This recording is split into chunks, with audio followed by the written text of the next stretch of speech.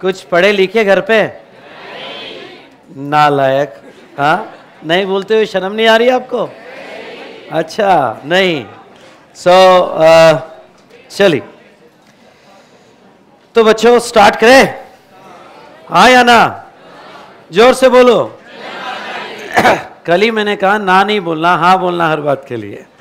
ठीक है ये आदत पड़ जानी चाहिए तो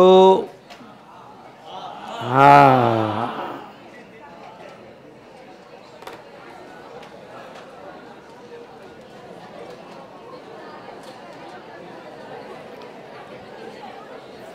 कल हमने बहुत ही एक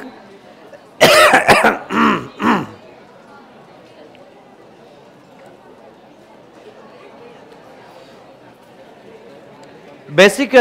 डिफरेंसेस देखे डिफरेंस डायरेक्ट टैक्स और इनडायरेक्ट टैक्सेस बेटा लास्ट कॉर्नर सेटल हो जाओ लंबी सांस लो छोड़ो छोड़ो हाँ तो यहाँ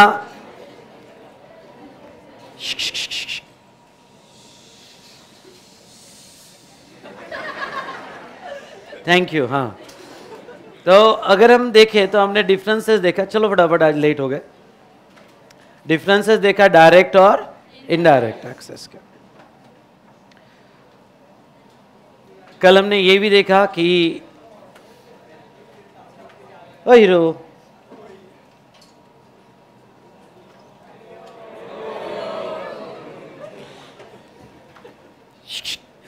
इधर देख इधर देख हाँ तो यहाँ हमने देखा कि इनडायरेक्ट टैक्स हर स्टेज पे लगता था जब भी वो इवेंट हो रहा है क्योंकि लेवी जो थी वो इवेंट्स पे थी और जो भी वो इवेंट को टच करेगा लाइबिलिटी अराइज होगी ओके लाइबिलिटी अराइज होगी और entire burden pass on to ultimate consumer ठीक है इसके बाद में next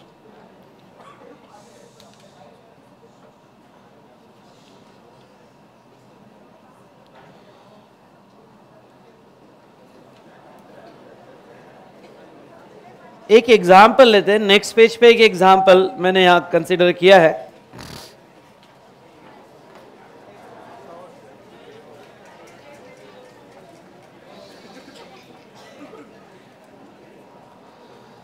mister A a manufacturer of toothpaste he has done only single sale in a financial year 1819 तुम्हारे इसमें क्या ईयर है 1819 ऑफ रुपीज कितना 20 lakhs. He has incurred the following expenses to run the business in the financial year.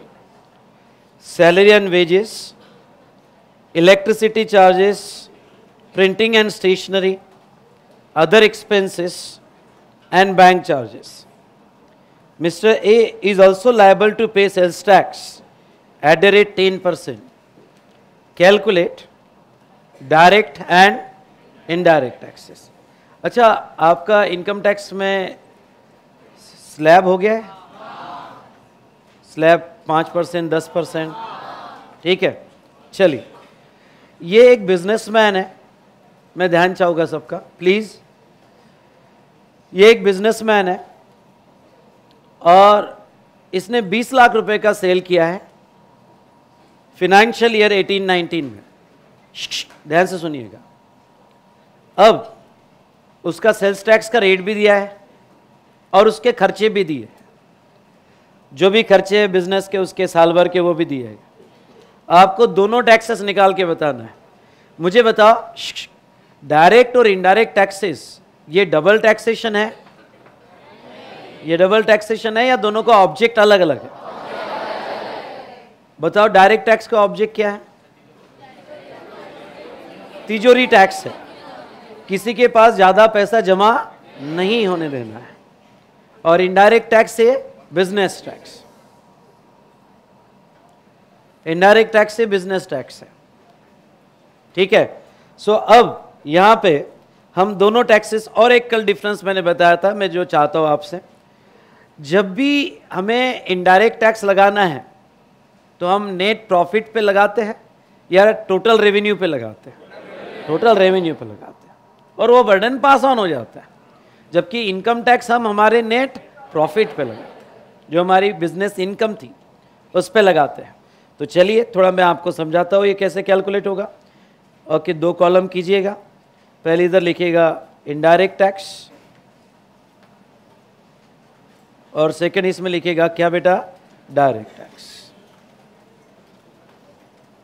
Second इसमें लिखिएगा direct tax indirect tax and direct indirect tax तो simple किस तरह से लगाया जाएगा और असेस किया जाएगा देखिएगा बताओ गुड्स का यहाँ पे सेल प्राइस कितना था sale price 20 lakhs total revenue 20 lakhs उसके ऊपर sales tax sales tax at the rate क्या बेटा टेन परसेंट टू लैक्स ये हुआ total twenty two lakhs total price charge खत्म इनडायरेक्ट टैक्स जो हमने लगाया सेल्स टैक्स लग गया total price charge that's all calculation is over total price charge in the invoice and burden transfer to the customer अच्छा एक सवाल मेरा बहुत सिंपल है आपसे ये टैक्स गवर्नमेंट को कौन देगा मैन्युफैक्चरर या ट्रेडर सिंपल वे में सप्लायर एक मिनट मैं सबका ध्यान चाहूंगा गवर्नमेंट को टैक्स पे करने की जिम्मेदारी किसकी होगी सप्लायर की पर बर्डन कौन लेगा सप्लायर या वो पास ऑन कर देगा यानी क्या मैं ये वर्ड यूज कर सकता हूँ रिसिपियंट बर्डन कौन लेगा रिसिपियंट रिसिपियंट मतलब वो जिसको आपने गुड्स बेचा है या जिसको आपने सर्विसेस दी है तो नाउ यहां लिखो sales tax sales tax is payable sales tax is payable by mister A sales tax is payable by mister A to government Sales tax is payable by Mr. A to government, but but its burden to be shifted, but its burden to be shifted to be shifted to beta कौन किस पे to customer or recipient. Its burden to be shifted to customer or recipient.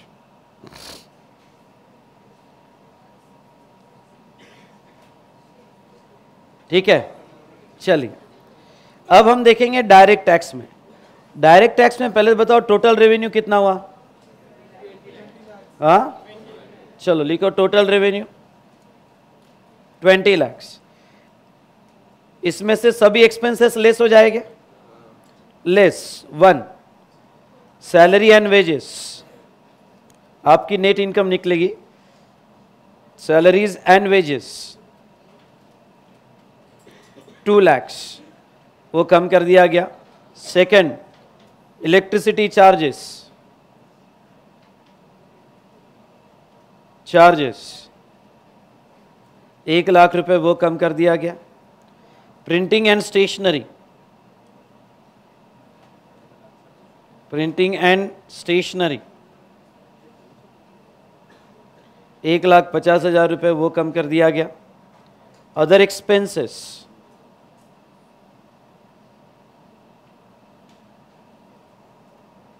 three lakhs fifty thousand and fifth bank charges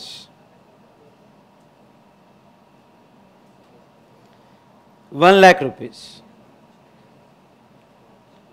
अगर इतना deduct कर दो तो net income आपकी कितनी बचेगी हाँ एलेवन लाख एलेवन लाख ही बचेगा शायद हाँ तो आपका बचेगा एलेवन लाख ठीक है आपकी नेट इनकम बचे इसके ऊपर इनकम टैक्स स्लैब लगाओ कैसे निकालोगे इनकम टैक्स क्या स्लैब है ये 11 लाख में से पहले ढाई लाख तक तो कोई टैक्स नहीं लगेगा अज्यूम करते हैं मिस्टर ए इंडिविजुअल है अरे यस सर नो तो 11 लाख दो लाख पचास हजार पे टैक्स नहीं लगेगा आगे का स्लैब क्या है फाइव परसेंट कितने लिमिट तक है पाँच लाख तक ओके और फिर पाँच लाख से दस लाख और दस लाख के ऊपर वाला थर्टी परसेंट मैं सबका ध्यान चाहूँगा तो मतलब ग्यारह लाख है तो एक लाख थर्टी परसेंट में जाएगा लो कैलकुलेटर लो एक लाख थर्टी परसेंट में जाएगा ऊपर का एक लाख ना थर्टी परसेंट में जाएगा फिर पाँच से दस ये ट्वेंटी मतलब कितना हुआ तो आपका टोटल टैक्स पेबल कितना आ रहा है तो इनकम टैक्स पेबल कमन कमन पहले इनकम टैक्स पेबल कितना आया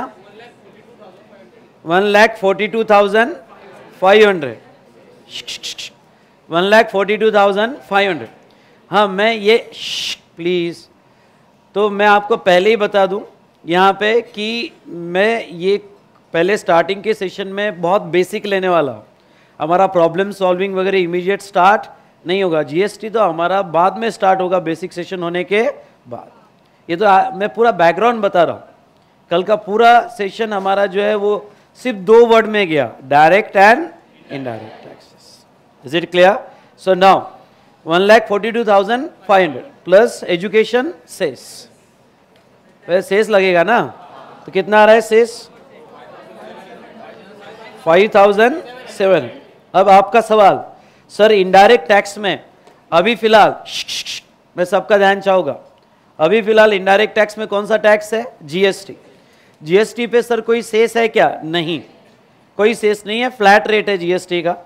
ओके और पहले भी नहीं था सेल्स टैक्स वगैरह में वो जो सेस एक्स्ट्रा लगाया गया है वो ओनली किस में है बेटा इनकम टैक्स इनकम टैक्स में इज इट क्लियर ओके तो चलिए यहाँ पे हमने दो चीज़ें बहुत क्लियर समझी कि हाँ उसी 20 लाख पे टेन परसेंट भी लगता है और उसी 20 लाख की जो इनकम बचती है कमान उसी 20 लाख का जो इनकम बचता है उसके ऊपर क्या इनकम टैक्स भी लगता है पर ये डबल टैक्सेशन नहीं है अभी दिमाग में फिट कर लेना ये डबल टैक्सेशन नहीं है दोनों का ऑब्जेक्ट टोटली डिफरेंट है टोटली डिफरेंट है इज इट क्लियर चलो अब डिफरेंस लिख लो डिफरेंस बिटवीन डायरेक्ट और इनडायरेक्ट टैक्सेस दो कॉलम करना स्टूडेंट नोट्स का स्पेस भी यूज कर लेना पहले केस में लिखना डायरेक्ट टैक्सेस और सेकेंड केस में क्या indirect taxes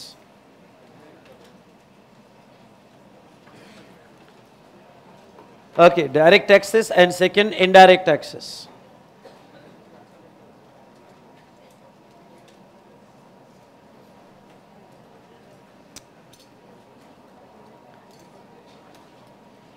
चलिए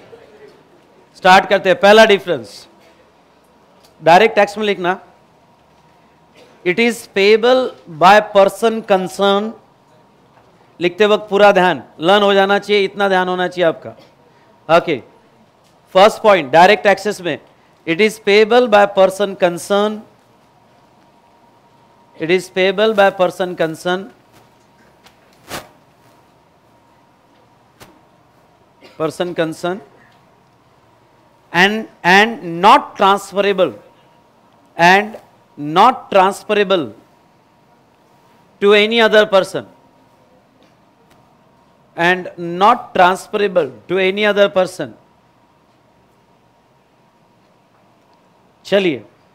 इनडायरेक्ट टैक्स में पहला डिफरेंस क्या आएगा इट इज यही it is payable by one person but transferable to another person right down It is payable by one person but transferable to another person. Transferable to another person.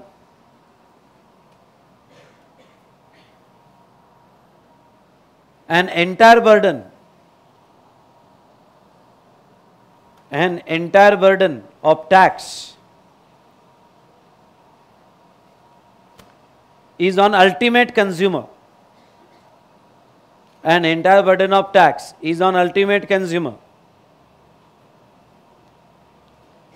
Ultimate consumer. चलो second difference direct tax में लिखना it is progressive in nature it is progressive in nature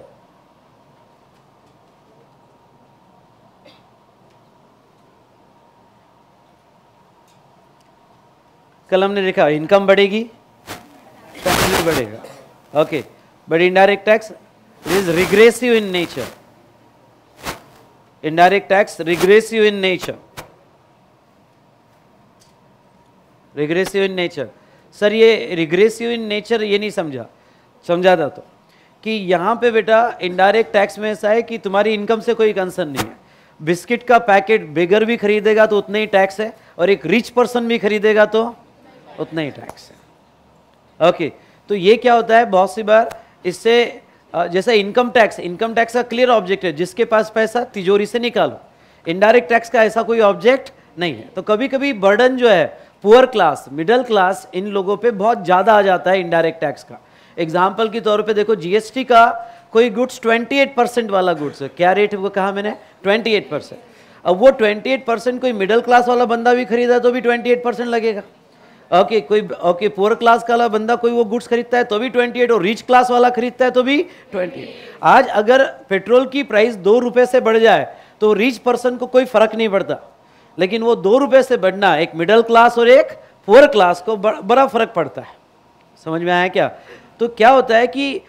एक तरह का regression तैयार हो जाता है एक तरह का अपोज तैयार हो जाता है किसमें इनडायरेक्ट टैक्स में स्पेशली फॉर्म पुअर क्लास और मिडिल क्लास कि भाई आप सेम बर्डन कैसा लगा रहे हो रिच क्लास और पुअर क्लास और मिडिल क्लास में इसलिए फिर इंडिया में जीएसटी के ब्रॉड सेंस में चार रेट बनाए गए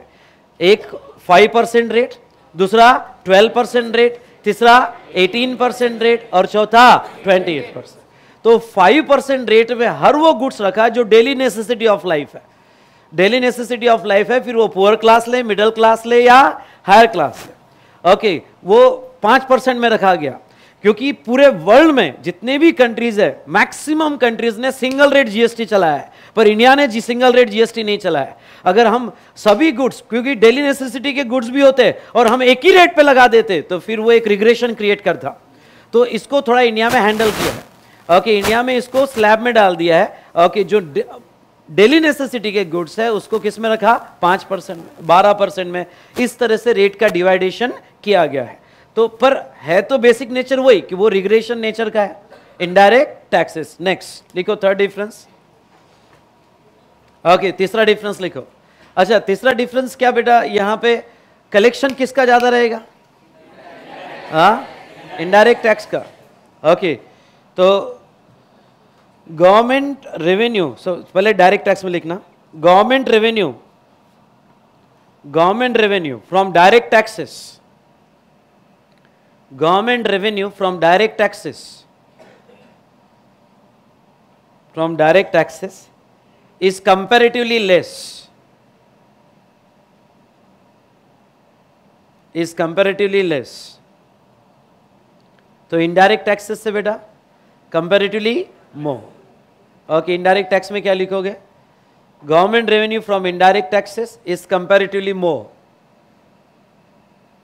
is comparatively more.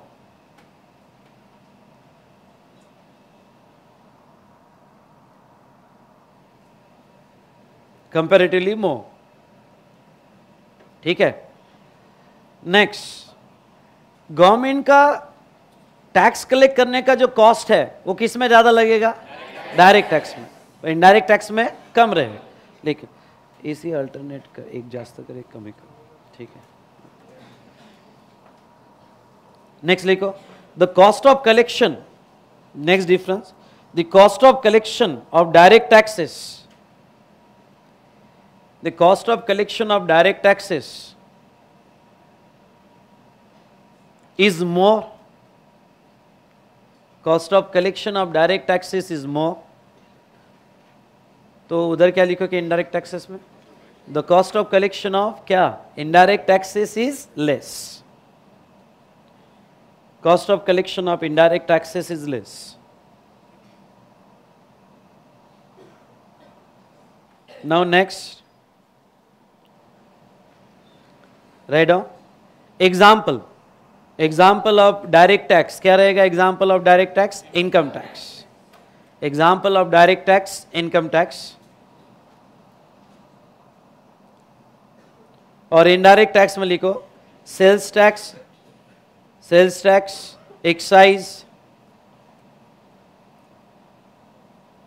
GST etcetera GST etcetera चलिए यहाँ तक तो हमारा कल तक डिस्कशन हो गया था और वो हमने डिफरेंस लिख लिया चलो अब थोड़ा एक इम्पॉर्टेंट डिस्कशन स्टार्ट करते हैं इंडिया में जो भी टैक्सेस लगाया गया है मैं आपका ध्यान चाहूँगा इंडिया में जो भी टैक्सेस लगाए गए हैं वो तीन पार्ट में डिवाइड किए हैं जैसा इंडिया में फेडरल स्ट्रक्चर है फेडरल स्ट्रक्चर कोई बताएगा क्या होता है हाँ फेडरल स्ट्रक्चर कोई बताएगा लॉ में भी हुआ होगा इनकम टैक्स में भी हुआ होगा आपका हाँ yes govern by please don't talk in between please don't talk in between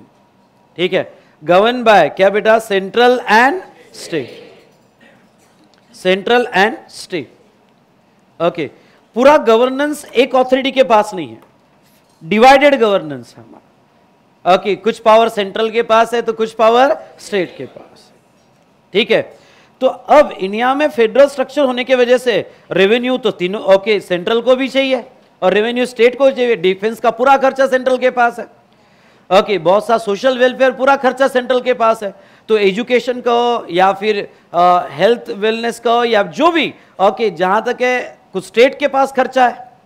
तो ऐसे सिचुएशन में पैसा तो दोनों को चाहिए तो फिर अगर इंडिया में ध्यान से सुनना अब यहां से जीएसटी का बेस बनेगा इंडिया में कोई बिजनेसमैन बिजनेस कर रहा है और पैसा जनरेट कर रहा है तो एक चीज तो ख्याल में रखो उसने पैसा कमाया कि गवर्नमेंट कहती है हमको भी चाहिए। गवर्नमेंट कहती है हमको भी चाहिए भाई तूने कमाया तो हमको भी चाहिए अच्छा गवर्नमेंट में सेंट्रल भी है स्टेट भी है और म्यूनसिपल कॉरपोरेशन भी है म्यूनसिपल कॉरपोरेशन स्टेट के कंट्रोल में आता है पर है वो एक सेपरेट एंटिटी अरे है ना तो ऐसे सिचुएशन में तीनों तीनों को पैसा चाहिए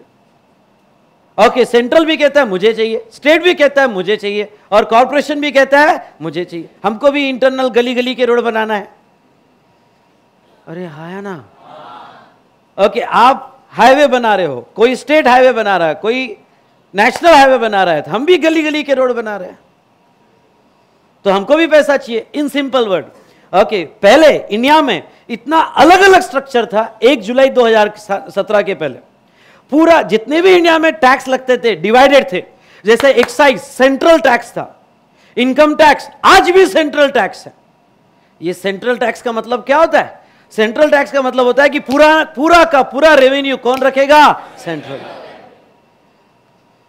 तो हम थोड़ा इनडायरेक्ट टैक्स में आते हैं डायरेक्ट टैक्स में इनकम टैक्स तो पूरा सेंट्रल ने रखा हुआ है स्टेट के साथ कुछ भी शेयर नहीं है ये समझ में आया क्या ओके इनडायरेक्ट टैक्स में जैसे अब ध्यान से सुनना मैं जो कह रहा हूं एक्साइज सेंट्रल के पास था कस्टम अभी भी सेंट्रल के पास है उसका कोई रेवेन्यू स्टेट के साथ शेयर नहीं होता है उसके बाद में sales tax sales tax state के पास था वैट वैट स्टेट के पास था एक और एक टैक्स लगता था अगर आपने कहीं सीपीटी में या कॉमर्स में C okay CST central sales tax कहीं पढ़ा होगा तो वो यहां पे सेंट्रल के पास था और वो शेयर होता था इन शॉर्ट एक जुलाई 2017 के पहले इंडिया में अलग अलग अलग अलग अलग टैक्सेस थे डिफरेंट टैक्सेस थे ओके कुछ सेंट्रल लगा रहा है कुछ स्टेट लगा रहा है चलो हम उसकी बात करेंगे और फिर जीएसटी लाने की जरूरत क्या पड़ी क्यों डिसाइड हुआ कि नहीं एक one nation one tax one market पे पूरा जीएसटी स्ट्रक्चर लाया जाए पूरे इंडिया में एक ही इनडायरेक्ट टैक्स सिस्टम हो एक ही जैसा पूरा स्ट्रक्चर हो उस पर हम बात करेंगे और वो है जीएसटी बहुत ही अच्छा सिस्टम बहुत ही ब्यूटीफुल सिस्टम ये बात अलग है कि गवर्नमेंट फेल हो गई इंप्लीमेंटेशन में और उसको बिजनेसमैन को सफ़र करना पड़ा वो बात अलग है नहीं ये आपको नहीं पता चलेगा जब तक आप पाकिस्तान के बाहर नहीं निकलोगे और मैं मैं बीजेपी के फेयर में मैं पाकिस्तान नहीं जाऊँगा हाँ तो जहाँ तो इन शॉर्ट नहीं मोदी जी का विजन अच्छा था जीएसटी के पीछे पर जल्दबाजी हो गई इम्प्लीमेंटेशन नहीं कर पाए विजन अच्छा था तो चलिए सेंट्रल टैक्स स्टेट टैक्स और क्या कॉरपोरेशन टैक्स तो अब यहां पे ध्यान से सुनिएगा थोड़ा हम कॉन्स्टिट्यूशनल प्रोविज़न पढ़ते हैं और कॉन्स्टिट्यूशनल प्रोविज़न पे आते हैं और ये कॉन्स्टिट्यूशनल प्रोविज़न ओके क्या कहती है इनडायरेक्ट टैक्स से रिलेटेड कमॉन क्या कह रहे हैं हमने इनडायरेक्ट टैक्स तो अब मैं आपसे थोड़ा डिस्कशन करना चाहूंगा यस yes, कोई ये बताए what is the constitution of India हमारा भारत का संविधान क्या है हाँ एनी वॉल्टियर सर ये कॉन्स्टिट्यूशन जो पास हुआ था और इम्प्लीमेंटेशन में आया 26 जनवरी 2000 2000 में आया 26 जनवरी दो क्या 1900 1950 में इम्प्लीमेंटेशन में आया कोई स्टूडेंट तो अभी ये सोचा होगा अच्छा 26 जनवरी इसलिए मनाते हैं उसको तो टेंथ तक यही नहीं पता चला कि पंद्रह अगस्त और छब्बीस जनवरी का डिफरेंस क्या है हाँ ये इंडिया का सुप्रीम लॉ है कोई भी डेमोक्रेसी ध्यान से सुनिएगा कोई भी डेमोक्रेसी उसके कॉन्स्टिट्यूशन के बेस पे होती है यूनानिमस रिजोल्यूशन से पार्लियामेंट के सभी मेंबर्स और राज्यसभा के सभी मेंबर्स को उनका यूनानिमस कंसेंट लेके एक इंडिया का सुप्रीम लॉ पास हुआ और वो पास हुआ 26 जनवरी 1950 में जिसको हम कहते हैं constitution of India it provide duties and rights and etcetera of every citizen of India चलो अब मैं मेन पॉइंट पे आता हूं इंडिया में कोई भी टैक्स नहीं लगा सकता या कोई भी इंपोज नहीं कर सकता जब तक हमारा कॉन्स्टिट्यूशन उसे परमिट नहीं करता है कॉन्स्टिट्यूशन परमिट नहीं कर सकता ओके योर नेम हाँ मोनिश इमेजिन करो यहाँ पे जस्ट इमेजिन द सिचुएशन और ऐसा इमेजिन करना कि इंडिया में कोई लॉ नहीं है ठीक है मोनिश एक बिजनेसमैन है बिजनेस कर रहा है मोबाइल का बिजनेस कर रहा है मोबाइल सेल परचेस करता है ओके okay, और इंडिया में कोई टैक्स रिलेटेड लॉ नहीं है स्पेशली इनडायरेक्ट टैक्स इमेजिन करना ओके okay, तो वो सेल कर रहा है जैसे उसने सेल किया और पैसा लिया पैसा गिन रहा है पैसा मिला उधर से एक ऑफिसर आता है और ऑफिसर कहता है मिस्टर मोनिश तुमको मिला हमको पीछे ओके तो now mister Monish okay you have sold the goods okay आपने गुड्स बेचा है ओके okay, आप रेवेन्यू जनरेट कर रहे हो हमें भी पैसा चाहिए अब इमेजिन करना इंडिया में कोई ऐसा टैक्स लॉ नहीं है हाँ। Mister Monish he is F C F C future chartered accountant ठीक है तो यहाँ मिस्टर मोनिश कह रहा है कि Wait, who are you? I am assistant commissioner. So Monish ne kaha, so what?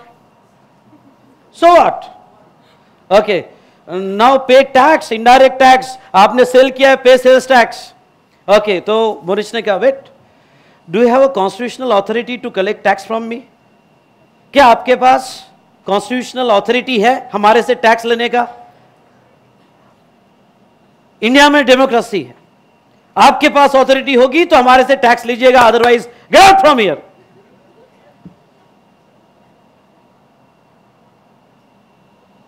no वो ऑफिसर ने कहा सर वेट वेट वेट आप सेल कर रहे हो तो हमें टैक्स दीजिए मोनिश ने कहा get out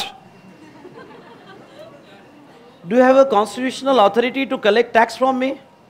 वो ऑफिसर ने कहा नहीं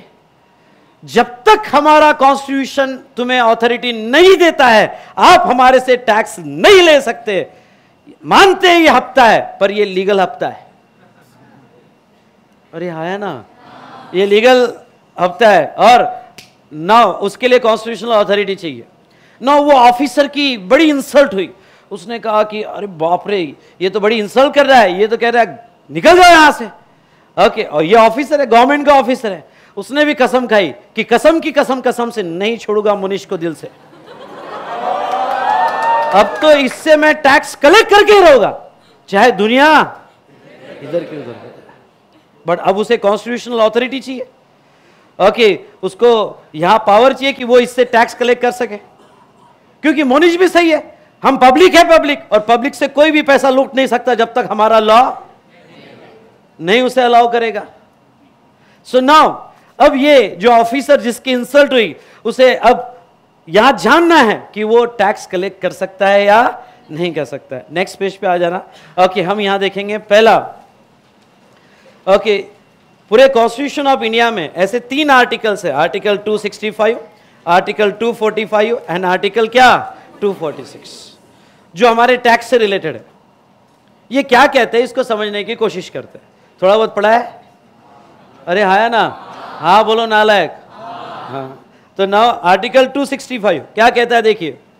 आर्टिकल 265 कहता है no tax shall be levied और collected except under the authority of क्या आर्टिकल 265 कहता है कोई भी टैक्स हो वो डायरेक्ट हो या इनडायरेक्ट थोड़ा रिपीटेशन होगा आपका इनकम टैक्स में हुआ है पर मुझे यहां से लिंक लगाने दो फॉर क्या इनडायरेक्ट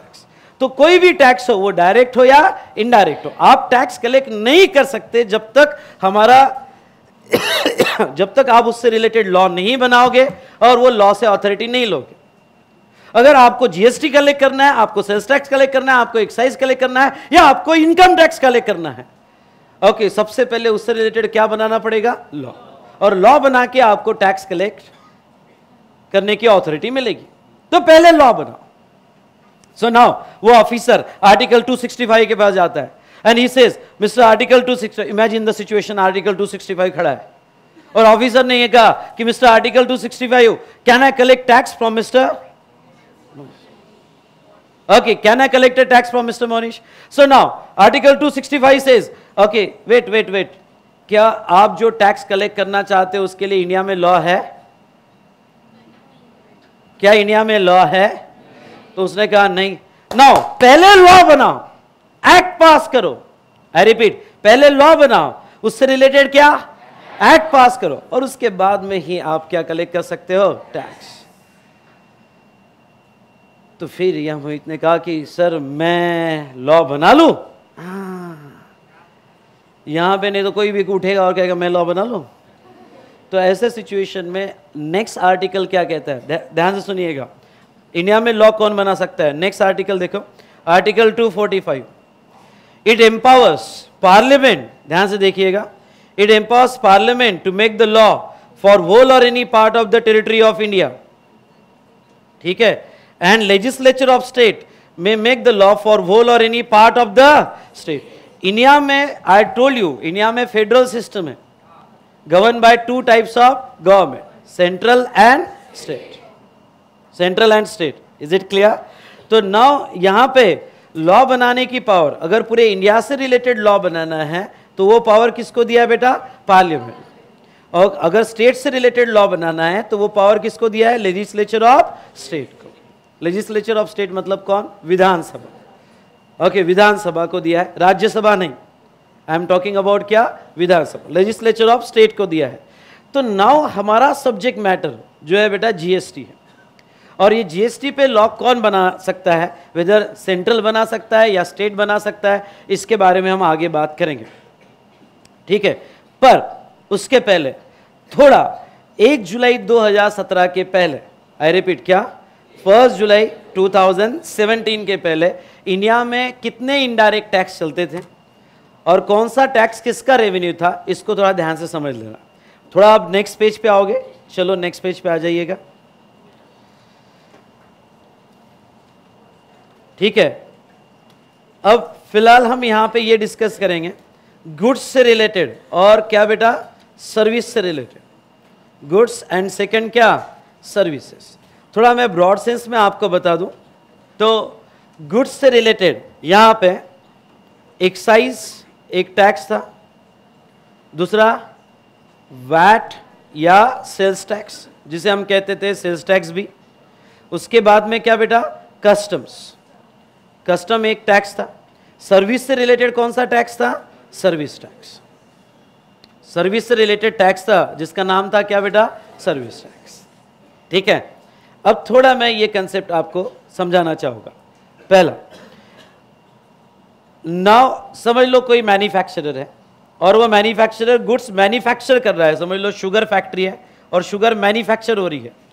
और ये मैन्युफैक्चर होके ओके मैन्युफैक्चर होके सेल हो रही है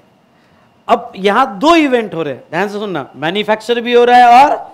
सेल भी हो रहा है मैन्युफैक्चर पे लगता था क्या बेटा एक्साइज एक्साइज और जब ये सेल होता था तो सेल पे लगता था क्या सेल्स टैक्स सेल्स टैक्स जिसे हम क्या कहते थे वैट जिसे दूसरा नाम क्या था VAT value added tax sir दो टैक्सेस हाँ क्योंकि एक्साइज ये कौन से इवेंट पे था बेटा मैन्युफैक्चर मैंने पहले कहा टैक्सेस इवेंट्स पे होते अरे है हाँ ना तो एक्साइज कौन से इवेंट पे था मैन्युफैक्चर ओके और सेल्स टैक्स कौन से इवेंट पे था सेल्स पे यानी अगर आप बुक में लिखिएगा अगर गुड्स की प्राइस लिखिए गुड्स की प्राइस अगर एक लाख होगी गुड्स की प्राइस एक लाख होगी और यहां वो वन लैख पे सबसे पहले एक्साइज लग रहा है excise at the rate ten percent ten thousand total one lakh ten thousand और बाद में एक्साइज के साथ साथ उसके ऊपर सेल्स टैक्स भी लग रहा है जिसे मैं वैट कहूंगा वैट या sales tax assume the rate ten percent तो उसका रेट भी टेन परसेंट है तो अब ध्यान से सुनिएगा मुझे ये पॉइंट चाहिए ये टेन परसेंट बेसिक प्राइस का था या एक लाख दस हज़ार का था अगर आपको सीपीटी के अकाउंटिंग के कुछ प्रॉब्लम याद हो गए तो ये एक लाख दस हज़ार तो नौ ग्यारह हज़ार रुपये यहाँ पे ये लग रहा है वैट और सेल्स टैक्स और यहाँ एक लाख इक्कीस हज़ार प्राइस बन रही है फिर ओके अगर आपको पुराने कुछ वर्ड्स याद हो गए तो ऑक्ट्रा है कुछ याद आ रहा है ऑक्ट्राए या L local body tax okay समझ लो वो यहाँ पे चार हजार रुपये लग रहा है टोटल कितना हुआ एक लाख पच्चीस हजार रुपये एक लाख पच्चीस हजार रुपये डिड यू अंडरस्टैंड तो नाउ कस्टमर को यहाँ पे एक लाख का प्रोडक्ट टैक्सेस लगा के कितने में मिल रहा है एक लाख पच्चीस हजार एक लाख पच्चीस हजार में इज इट क्लियर तो अब बेटा अब ध्यान से बता दो यहां ध्यान से सुनो ये जो एक्साइज का रेवेन्यू था ये सेंट्रल गवर्नमेंट लेती थी कौन ये सेंट्रल अपना पैसा लेती थी वैट और सेल्स टैक्स से रेवेन्यू कौन ले रहा है स्टेट ये रेवेन्यू स्टेट ले रहा है वैट और सेल्स टैक्स का और ऑक्ट्रा और एलबीटी का रेवेन्यू कौन ले रहा है कॉरपोरेशन यानी local bodies I repeat the word क्या लोकल बॉडीज तो लोकल बॉडीज यानी कॉरपोरेशन ले रहा है यानी जब एक बिजनेसमैन गुड सेल कर रहा है तो वो बिजनेसमैन से पैसा सेंट्रल भी कलेक्ट कर रही है स्टेट भी कलेक्ट कर रहा है और क्या लोकल बॉडीज भी कलेक्ट कर रही है ठीक है अब थोड़ा एक प्रैक्टिकल डिफिकल्टीज बताता हूं मैं थोड़ा टेक्निकली जाऊंगा ध्यान से सुनना सभी ने मैं थोड़ा टेक्निकली जा रहा हूं ठीक है यहां और आज का सेशन थोड़ा टेक्निकल है ओके फिर और कल जब जीएसटी चालू हो जाएगा तो यू विल एंजॉय ठीक है पर थोड़ा टेक्निकल है कि बैकग्राउंड प्रोविजन क्या थी फर्स्ट जुलाई 2017 के पहले अब क्या होता था बताता हूँ सेंट्रल गवर्नमेंट के डिपार्टमेंट अलग स्टेट गवर्नमेंट के डिपार्टमेंट अलग और कॉरपोरेशन का डिपार्टमेंट अलग नाउ सेंट्रल गवर्नमेंट के डिपार्टमेंट के ऑफिसर आ रहा है चेकिंग करने कि भाई मुझे बताओ आपने एक्साइज सही पे किया कि नहीं पता आपका सेल्स रिकॉर्ड बताओ आपका परचेस रिकॉर्ड बताओ आपका प्रोडक्शन बताओ स्टॉक बताओ डब्ल्यू बताओ ये बताओ वो बताओ दुनिया भर के रिकॉर्ड्स एक्साइज के अलग मेंटेन करो वही सेल वही स्टॉक वही डब्ल्यू जब सेल्स टैक्स का ऑफिसर आ रहा है तो वह अपने फॉर्मेट में मांगता था वही सेल वही स्टॉक वही डब्ल्यू जब ओके कॉरपोरेशन के आदमी आ रहे मतलब लोकल बॉडीज के ओके एलबीडी चेक करने वो अपने फॉर्मेट में मांग रहे मतलब एक बिजनेसमैन को एक ही डेटा तीन अलग अलग फॉर्म में मेंटेन करना पड़ता था अरे आया हाँ, ना एक ही डेटा तीन अलग अलग फॉर्म में एक्साइज के रिकॉर्ड्स अलग थे सेल्स टैक्स के रिकॉर्ड अलग थे और यहां कॉरपोरेशन लोकल बॉडी टैक्स के रिकॉर्ड अलग अलग थे मतलब उसकी एडमिनिस्ट्रेशन कॉस्ट कमान यार कमान उसकी एडमिनिस्ट्रेशन कॉस्ट बढ़ रही है अरे यस और नो आगे जीएसटी के बेनिफिट्स क्या है वो लर्न हो जाने चाहिए मुझे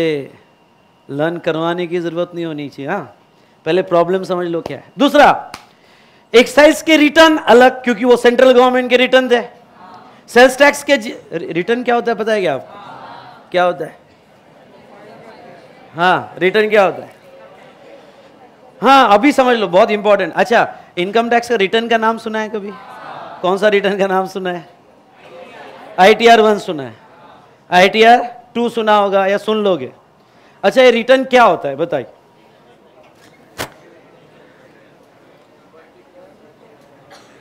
रिटर्न क्या होता है ये बताइए चलो आपको थोड़ा बेसिक बता देता हूँ आगे हम डिटेल में देखेंगे और आपको इनकम टैक्स में भी पढ़ाया जाएगा हमने कल देखा था कोई भी इकोनॉमिकल लॉ थ्री स्टेजेस में होता है बताओ कौन सी थ्री स्टेजेस कमन कमन कौन सी three stages levy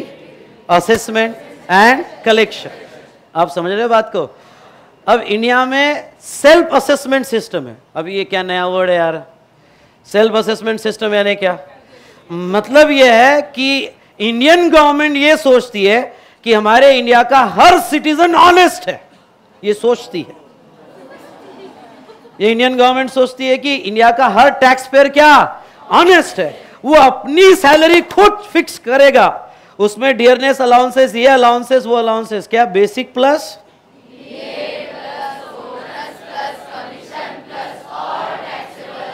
ये वो खुद होकर ऐड करेगा और अपना टैक्स खुद पे करेगा कुछ नहीं छुपाएगा अरे है ना उसको जो जो भी मिला आई रिपीट क्या उसको जो जो भी मिला और आगे जब पीजीबीपी वगैरह स्टार्ट आपने देखा होगा तो उसमें खर्चे ऑनेस्टली जितने हुए उतने ही बताएगा नेट इनकम जितना हुआ उतना ही बताएगा कोई डमी खर्चे बुक नहीं करेगा ऐसा इंडियन गवर्नमेंट मानती है कि इंडिया का हर बंदा क्या ऑनेस्ट और अपना सेल्फ असेसमेंट ओके ये जो जितने भी इनकम टैक्स पढ़ रहे हो जीएसटी पढ़ रहे हो इसके लॉ की हर लाइन पढ़कर वो फॉलो करके खुद अपना टैक्स ऑनेस्टली असेस करेगा और खुद पे करेगा सर इतनी ऑनेस्टी ऐसा मानती गो ओके तो सेल्फ असेसमेंट सिस्टम क्या ये बढ़ाएगा सेल्फ असेसमेंट मतलब आपका टैक्स आप ही असेस करो ये लॉ पढ़ के सर एक लेमैन को लॉ क्या समझना है उसको क्या समझेगा हम तो यहां सुबह से लेकर शाम तक बैठ रहे तभी समझ नहीं पाते वो एक बिजनेस मैन है ले मैन है उसको क्या समझेगा बेटा उसको नहीं समझेगा इसलिए तो हम बन रहे अरे है ना ओके इतनी पढ़ाई कर रहे सुबह से लेके शाम तक ओके बड़ बड़ बड़ बड़ बड़ बड़ सुन रहे वो तो भी अच्छा है नहीं तो तुम्हारे लास्ट सेशन में तो आपकी हालत ऐसी हो जाती ओके अच्छा ये लास्ट सेशन अभी तो ठीक है तुमको चार सौ हजार बजे छोड़ा जा रहा है पहले सात बजे तक क्लासेस जब चलते थे तो सर एक सवाल कल एक स्टूडेंट ने मुझे अच्छा सवाल पूछा कि सर पहले जब क्लासेस सात बजे तक चलते थे तो कुछ ज़्यादा पढ़ाया जाता था क्या नहीं नहीं नहीं क्लास स्टार्ट ही साढ़े आठ बजे होती थी अरे हाँ, है ना और इस बार जो है बीकॉम की छुट्टी जो है पहले बीकॉम की छुट्टी दी जाती थी इस बार डिसीजन ये हुआ कि नहीं देंगे तो वो टाइम पीरियड कवर किया जा रहा है ओके okay, वो रीज़न ये है क्योंकि सबकी एग्ज़ाम अलग अलग टाइम पे है ठीक है तो नहीं बेटा वो आपको बैकअप दिया ज़्यादा अच्छा क्योंकि हमको बहुत परेशानी हो जाती है जाने दो it is another point of discussion self assessment करते हैं ओके हम बाद में बात करेंगे तो इस बार वो टाइम सेव करके आपको इस तरह से मैनेज किया गया कि आपको सेल्फ स्टडी का टाइम मिले होमवर्क करने का टाइम मिले ठीक है पर इसका आप कितना यूज़ करते हो आपके ऊपर अब आते हैं सेल्फ असेसमेंट सेल्फ असेसमेंट मतलब आप अपना इनकम टैक्स आप अपना एक्साइज आप अपना जीएसटी सेल्स टैक्स जो भी लग रहा है वो खुद असेस करोगे और आपको नहीं समझ में आ रहा है लॉ तो आप यहां जो स्मार्ट लोग हैं उसका आप हेल्प ले सकते हो अरे आया ना तो ऐसे सिचुएशन सेल्फ असेसमेंट है अब ये सेल्फ असेसमेंट आपने कैसा किया आपने सैलरी में डियरनेस अलाउंस ऐड किया क्या बोनस ऐड किया क्या प्रॉपर कैलकुलेट किया क्या सभी प्रोविजन लगाई क्या प्रॉपर डिडक्शन लिया क्या ये लिया क्या वो लिया क्या ये गवर्नमेंट को कैसे पता चलेगा कि आपने सही किया है उसके लिए आपको एक स्टेटमेंट बना के देना पड़ेगा गवर्नमेंट को कि ये देखो मैंने सही किया है और वो स्टेटमेंट होता है रिटर्न अरे हाँ है ना वो स्टेटमेंट होता है रिटर्न कि आप आपने क्या किया कैलकुलेशन किस तरह से किया ओके वो एक डॉक्यूमेंट से बताना पड़ता है और वो डॉक्यूमेंट का नाम है क्या रिटर्न इज इट क्लियर तो एक्साइज में भी रिटर्न थे सेल्स टैक्स में भी और जीएसटी रिटर्न भी है अभी तो ऐसे मैं बताऊंगा आपको रिटर्न कैसे वो एक एक इंफॉर्मेशन आपसे कैसे लेते हैं ये रिटर्न लाइव बताओगा यहाँ पर जीएसटी रिटर्न और विजय सर भी आई टी आर वन वगैरह बताते हैं तो आप देखोगे तो ऐसे सिचुएशन में अब तीनों के रिटर्न सबमिट करो अब एक लेमैन को रिटर्न तो समझ में नहीं आता है उसको तो लॉ ही समझ में नहीं आता और उसमें भी जीएसटी क्योंकि जब तक समझ में आता है तब तक बदल जाता है समझ में आ रहा है क्या आपको ओके okay, तो ऐसे सिचुएशन में ये मत सोचना कि इंटर में क्लास लगा लिया विशाल सर का तो फाइनल में आने की जरूरत नहीं है क्योंकि जब तक आप फाइनल में जाओगे तब तक नहीं दिखेगा कुछ नया आ गया ये समझ में आया क्या तो ऐसे सिचुएशन में एक्साइज की रिटर्न अलग दो उसकी फीस अलग पे करो सेल्स टैक्स की रिटर्न अलग भरो और कि इसकी ड्यू डेट्स अलग उसकी ड्यू डेट अलग रिटर्न की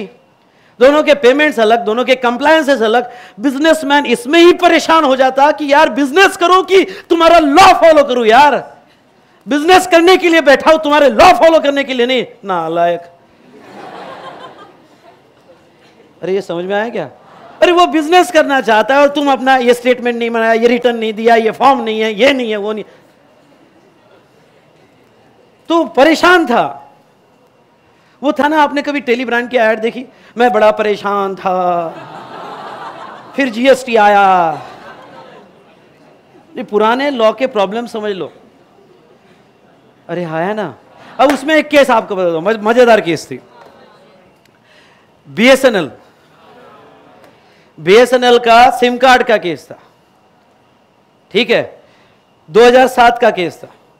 सिम कार्ड बीएसएनएल तीन सौ रुपए में बेच रही है ठीक है अब मजेदार बात क्या हुई बता दो आपको यहां पे सर्विस टैक्स डिपार्टमेंट सेंट्रल के पास था किसके पास था सर्विस टैक्स सेंट्रल के पास अब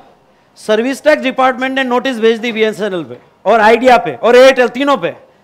कि जो आप तीन सौ रुपए का सिम कार्ड बेच रहे हो वो सर्विस है अगर वो सर्विस है तो उसके ऊपर सर्विस टैक्स दिया जाएगा अरे आए ना इधर वैट डिपार्टमेंट ने नोटिस भेज दिया कि वो जो सिम कार्ड आप भेज रहे हो वो टेंजिबल है और वो सेल ऑफ गुड्स है आई रिपीट क्या सेल ऑफ गुड्स है उसके ऊपर वैट दिया जाएगा अब तीन सौ रुपए पे क्या उधर क्या मांग रहे हैं सर्विस टैक्स तो इधर क्या मांग रहे हैं वैट अब ये कंपनी कह रही थी कि कोई एक बताओ सर्विस है या गुड्स है नहीं नहीं समझ में अगर सर्विस होगी तो हम क्या देंगे सर्विस टैक्स अगर गुड्स होगा तो हम क्या देंगे वैट क्योंकि वैट गुड्स पे लगता था थोड़ा समझ पा रहे हो ना अपनी मैच्योरिटी लेवल बढ़ाना थोड़ी तो तो यहां पे केस अच्छा डिमांड कितने की थी अस्सी करोड़ की डिमांड थी 80 करोड़ का डिमांड था और दोनों डिपार्टमेंट सेंट्रल वाले नहीं सुन रहे थे सेंट्रल वाले कहते थे सिम कार्ड तो छोटी सी चिप है तुमने तीन सौ रुपए तो एक्टिवेशन के लिए और वो एक्टिवेशन सर्विस है अरे है ना तो तुमने तो चिप जैसे एक मीडिया है मीडिया पे आपने सर्विस दी जैसा आपके मेरे बीच में मीडिया नोट्स है ओके मेरी सर्विस वो नोट से जा रही है आप तक मैं सर्विस दे रहा हूं आपको कैसे और ये जो मैं बोल रहा हूँ ना मेरी साउंड वेव्स ओके इसमें एक्सपर्टीज नॉलेज है जो आपको स्मार्ट बनाएगा अरे और जैसे ये साउंड वेव्स आप सुनते हो ओके वो नॉलेज आपको मिलता है and you are ready to pay for that कि ये बात हुई ना मजा आ गया अरे है ना तो यहाँ पे बी सुनो सुनो सुन ध्यान से बी का कहना था कि नहीं वो सिम कार्ड तो सिर्फ मीडिया है एक्चुअली तीन सौ रुपए एक्टिवेशन के पूरा कॉन्ट्रैक्ट सर्विस का है तो वैट का कहना था ऐसा कैसा मीडिया के बिना कुछ नहीं होगा वो सिम कार्ड जरूरी है वो गुड्स है तीन सौ रुपये वैट लगेगा एट लास्ट सुप्रीम कोर्ट ने डिसीजन जो दिया था वो फेवर सर्विस टैक्स के फेवर में दिया था कि ये टैक्स ये क्या है एक्टिवेशन तो इस पर सिर्फ सर्विस टैक्स लगेगा इन शॉर्ट मेरा ये कहना था कि सेंट्रल और स्टेट के इसमें ही झगड़े हो जाते थे सेंट्रल कहता था ये मेरा रेवेन्यू है स्टेट क्या चाहता है ये मेरा होते हैं झगड़े बीजेपी और आप में आप मतलब आप पार्टी अरे हाँ है ना ये मेरा रेवेन्यू ये मेरा रेवेन्यू है और दोनों लड़ रहे हैं अच्छा इसमें परेशान कौन हो रहा है बिजनेसमैन कि तीन सौ रुपए में तुम अठारह परसेंट का सर्विस टैक्स भी ले रहे हो इधर वैट भी ले हो ले रहे हो साढ़े बारह मेरे हाथ में क्या बचेगा नहीं तो अब ऐसे सिचुएशन में यहां पे साइलेंट प्लीज ऐसे बहुत से प्रॉब्लम होते थे अच्छा गुड्स पे तो एक्साइज भी लग रहा है क्योंकि मैन्युफैक्चर हुआ है सेल्स टैक्स भी लग रहा है क्योंकि सेल हुआ है ओके और एक सिटी से दूसरे सिटी में जा रहा है इसलिए एलबीटी भी लग रहा है लोकल बॉडी टैक्स या ऑक्ट्रा है अरे यस और नो चलो ठीक है बिजनेसमैन परेशान था फर्स्ट जुलाई 2017 के पहले एक बार फिर से सबके अलग अलग रिकॉर्ड्स अलग अलग रिटर्न ओके okay, इसकी नोटिस एक्साइज की नोटिस सेल्स टैक्स की नोटिस इसकी परेशानी उसकी परेशानी अभी एक्साइज के ऑफिसर रेड करके जाते हैं और वो एक्साइज के ऑफिसर रेड करने के बाद वो सेल्स टैक्स ऑफिसर को भी बोलते हैं जाओ तुम भी करो इसने बहुत गड़बड़ करके रखी है अब जैसे ही सेल्स टैक्स और एक्साइज वालों ने किया इधर इनकम टैक्स वाला अच्छा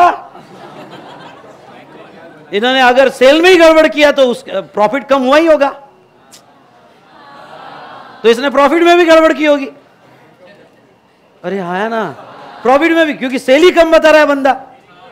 तो उधर प्रॉफिट कम हो गया हो गया फिर तीनों के तीनों यहां पे परेशान कर रहे तो ऐसे सिचुएशन में ये परेशानी थी जीएसटी ने बहुत बड़ा फायदा लाया क्या बाद में समझा होगा one nation one tax one market कैसे बताओ बताओ नाउ नेक्स्ट गुड्स में बिजनेस करने वाले सुनो गुड्स में बिजनेस करने वाले आयदर मैन्युफैक्चरर थे या ट्रेडर थे अरे है ना सच मैन्युफैक्चरिंग और ट्रेडिंग में क्या डिफरेंस है no doubt manufacture is also trader but purely trader और मैन्युफैक्चर में क्या डिफरेंस है मैन्युफै नहीं वैल्यू एडिशन तो दोनों भी करते हैं पर मैन्युफैक्चरर कुछ नया बना के बेचता है नया बना कर बेचता है अरे है ना तो ट्रेडर एज इट इज बेचता है अरे है ना तो समझ लो ये ट्रेडर है कार खरीद रहा है शोरूम है इसका कार खरीद रहा है बेच रहा है वैल्यू एडिशन तो ये भी करता है कार शोरूम है इसका उस पर खर्चा लगा रहा है value addition in terms of financial वो फाइनेंशियल टर्म्स हाँ वैसे वो गुड्स की वैल्यू एडिशन कुछ भी नहीं करता है पर वो पैसों की वैल्यू एडिशन कर देता है कि ये शोरूम चला रहा है वेजेस है सैलरी है अरे यस और नो तो अब यहाँ पे वो कार ले रहा है और कार बेच रहा है शोरूम वाला कुछ नहीं कार लेके बेच रहा है उसमें अपना profit margin plus expenses is it clear पर ये बताओ ये मैन्युफैक्चर कर रहा है या ओनली सेल कर रहा है तो इसके ऊपर एक्साइज भी लगेगा या ओनली सेल्स टैक्स या वैट लगेगा ओनली सेल्स टैक्स और वैट और एलबीटी लगेगा लोकल बॉडी टैक्स या ऑक्ट्रा तो नाउ ट्रेडिंग सेक्टर पे ये लिख सकते हो आप ट्रेडिंग ट्रेडिंग सेक्टर पे यहां पे जब गुड्स सेल होता था very very important goods sale होता था तो प्राइस ऑफ द गुड्स समझ लो यहाँ प्राइस ऑफ द गुड्स दो लाख रुपए है तो दो लाख पे एक्साइज तो नहीं लगता था क्योंकि ये मैन्युफैक्चर नहीं है मैन्युफैक्चर नहीं है ओके okay, तो यहाँ पे ओनली क्या लगता था बेटा सेल्स टैक्स सेल्स टैक्स या वैट और वो at the rate ten percent यानी कितना twenty thousand two lakhs twenty thousand और उसके ऊपर एल या क्या बेटा ऑक्ट्रा यहाँ पे समझ लो पाँच हज़ार रुपये तो दो लाख पच्चीस हज़ार रुपये ओके इस तरह से टैक्स लगाया जाता इज इट क्लियर इस तरह से टैक्स लगाया जा रहा है तो एक बार फिर से एक बार फिर से सर मैन्युफैक्चर पे दोनों टैक्स लगते थे हाँ मैन्युफैक्चर पे दोनों टैक्स लगते थे कौन कौन से excise as well as sales tax है तो ट्रेडर पे एक ही टैक्स लगता था कौन सा सेल्स टैक्स और वैट आप समझ रहे हो ओके चलिए अब नाउ इंडिया में शायद आपने कभी सुना होगा ये वर्ड्स इंडिया में दो टाइप की सेल होती थी एक इंट्रास्टेट सेल और एक इंटरस्टेट सेल कभी ये वर्ड सुना है आपने नहीं सुना होगा तो अभी सुन लो मैं थोड़ा समझा दो इंट्रास्टेट मतलब समझ लो महाराष्ट्र का एक डीलर है वो महाराष्ट्र के महाराष्ट्र में बेच रहा है तो इंट्रा बेच रहा है अरे आए ना तो वो महाराष्ट्र के महाराष्ट्र में बेच रहा है तो क्या बेटा समझ लो वो सेल कर रहा है महाराष्ट्र के महाराष्ट्र में तो इसको क्या कहते थे इंट्रास्टेट इंट्रास्टेट सेल कहते थे और अगर वो एक स्टेट से दूसरे स्टेट में बेच रहा है तो क्या इंटरस्टेट ये वर्ड ध्यान रखना बहुत काम का है जीएसटी में एक था इंट्रा और एक था इंटर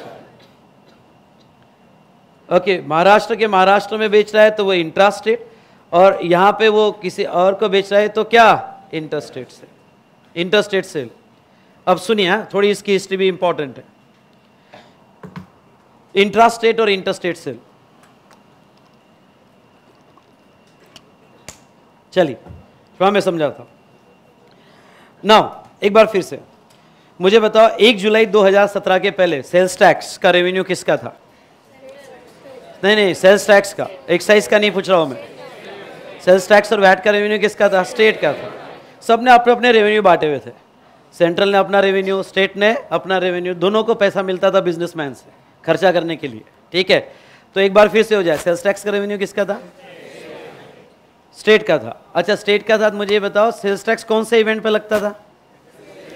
सेल ऑफ गुड्स ठीक है तो अब महाराष्ट्र के महाराष्ट्र में यानी इंट्रा सेल हो रहा है कम ऑन क्या इंट्रा सेल हो रहा है तो ना उसका वैट या सेल्स टैक्स कौन लेगा महाराष्ट्र गवर्नमेंट आई रिपीट क्या महाराष्ट्र को लेकिन दिक्कत कहाँ गई दिक्कत तब गई जब सेल एक स्टेट से दूसरे स्टेट में होने लगा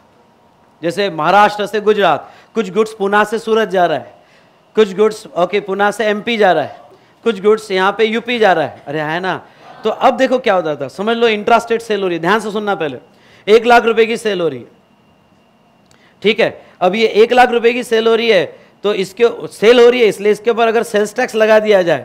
अब यहाँ पे सेल्स टैक्स टेन परसेंट यानी कितना अज्यूम करते हैं कितना बेटा टेन थाउजेंड और ये रेवेन्यू अगर महाराष्ट्र गवर्नमेंट लेता था तो उधर गुजरात गवर्नमेंट कहती थी कि सॉरी सॉरी गुड्स हमारे स्टेट में कंज्यूम हुआ है इसलिए ये पैसा हमें चाहिए गुजरात का क्या कहना था कि गुड्स क्या हमारे स्टेट में कंज्यूम हुआ है परचेस हमारे स्टेट में हुआ है तो ये पैसा हमें चाहिए तो महाराष्ट्र गवर्नमेंट कहती है नहीं ये गुड्स हमारे स्टेट से सेल हुआ है तो ये पैसा हमें चाहिए टैक्स पेयर इधर देख रहा है गुजरात हमें चाहिए हमें तो उधर महाराष्ट्र क्या हमें चाहिए तो अब सुनो गड़बड़ क्या हो गई थी इंटरस्टेट में अगर ये महाराष्ट्र गवर्नमेंट कलेक्ट कर रही है सेल्स टैक्स के तो उधर गुजरात गवर्नमेंट परचेस टैक्स लगा रही है उतनी अमाउंट का नहीं समझा आप उधर गुजरात गवर्नमेंट क्या परचेस टैक्स लगा रही है कि भाई मेरे स्टेट में आके बिजनेस किया मुझे पैसा चाहिए तो महाराष्ट्र गवर्नमेंट का मेरे स्टेट से बेचा मुझे पैसा चाहिए स्टेट में ही झगड़े आई रिपीट क्योंकि होते हैं झगड़े महाराष्ट्र में शिवसेना और अदर्स है बीजेपी कहा है ओके तो यहाँ अदर्स है तो उधर दूसरे स्टेट में क्या बीजेपी और ये स्टेट में आप अपना रेवेन्यू सब चाहते हैं हर हर स्टेट अपने स्टेट का डेवलपमेंट चाहता है हर स्टेट ये चाहता है कि मेरे स्टेट में ज़्यादा से ज़्यादा इंडस्ट्री आए मेरे स्टेट में जितनी ज़्यादा इंडस्ट्री आएगी उतना एम्प्लॉयमेंट बढ़ेगा जितना एम्प्लॉयमेंट बढ़ेगा मेरा स्टेट डेवलप होगा अरे आया ना तो हर स्टेट अपना डेवलपमेंट चाहता है हर स्टेट अपना रेवेन्यू चाहता है डिड यू अंडरस्टैंड तो ऐसे सिचुएशन में 1950 में हमारा कॉन्स्टिट्यूशन बना इंप्लीमेंटेशन में आया और 1950 से लेके उन्नीस तक बहुत झगड़े हुए कि सेल्स टैक्स का रेवेन्यू कौन सा स्टेट लेगा सेलर स्टेट आई रिपीट मैंने क्या कहा सेलर स्टेट या बायर स्टेट लेगा आप बात को समझ रहे हो सेलर स्टेट लेगा या बायर स्टेट लेगा कौन सा स्टेट लेगा यार एक बार बता दो अच्छा इसमें क्लैरिटी नहीं थी सात सॉरी आठ साल तक क्लैरिटी नहीं थी ओके okay, सेल अगर सेलर स्टेट सेल्स टैक्स ले रहा है तो बायर स्टेट क्या लगा रहा है परचेस टैक्स अब बेटा एक ही वैल्यू पे सिर्फ वो महाराष्ट्र से कहा जा रहा है गुजरात दो बार टैक्स लग रहा है तो सब बिजनेसमैन चिल्लाने लगे कि ये क्या नाटक है यार ओके okay, मैं क्या कर रहा हूं सिर्फ एक स्टेट से दूसरे स्टेट पे लेके जा रहा हूं और दोनों स्टेट गवर्नमेंट टैक्स लगा रही है क्या ये फ्रीडम मिला हमें ये इंडिपेंडेंस मिला हमें नहीं चाहिए हमें ऐसा फिर इंडिपेंडेंस ऐसा बिजनेसमैन क्या कि आप कहते थे इंडिपेंडेंस आ जाएगा तो अच्छे दिन आ जाएंगे विकास हो जाएगा तो अब ऐसे सिचुएशन में ओके okay, क्या ये इंडिपेंडेंस है कि हमारी स्टेट में हमारी इंडिया में हम दूसरे स्टेट में गुड्स ले जा बेचने ले जाते हो तो आप डबल टैक्स लगा देते हो ये सही बात नहीं है अब मैं आपको थोड़ा थोड़ा बता दू तो पर ये दो स्टेट मान नहीं रहे थे क्योंकि सेल्स टैक्स और परचेस टैक्स लगाने का पावर सेंट्रल के पास नहीं था किसके पास था स्टेट के पास वो डबल टैक्स लगा रहे एट लास्ट 1957 में प्राइम मिनिस्टर ने मतलब जवाहरलाल नेहरू जी ने ये कहा कि एक काम करते अब सुना मेरी बात ध्यान से सुनना उन्होंने कहा कि जब इंटरस्टेट होगा तो इस पर टैक्स लगाने का पावर सेंट्रल लेगा इस पर टैक्स लगाने का पावर सेंट्रल तो सेल्स टैक्स के दो भाग पड़ने लगे एक नॉर्मल सेल्स टैक्स मतलब इंट्रा और एक सेंट्रल सेल्स टैक्स अरे है हाँ ना तो सेल्स टैक्स के दो चीजें हो गई दो भाग हो गए ओके डिवाइड हो गया एक ऑनली सेल्स टैक्स और एक सेंट्रल सेल्स टैक्स तो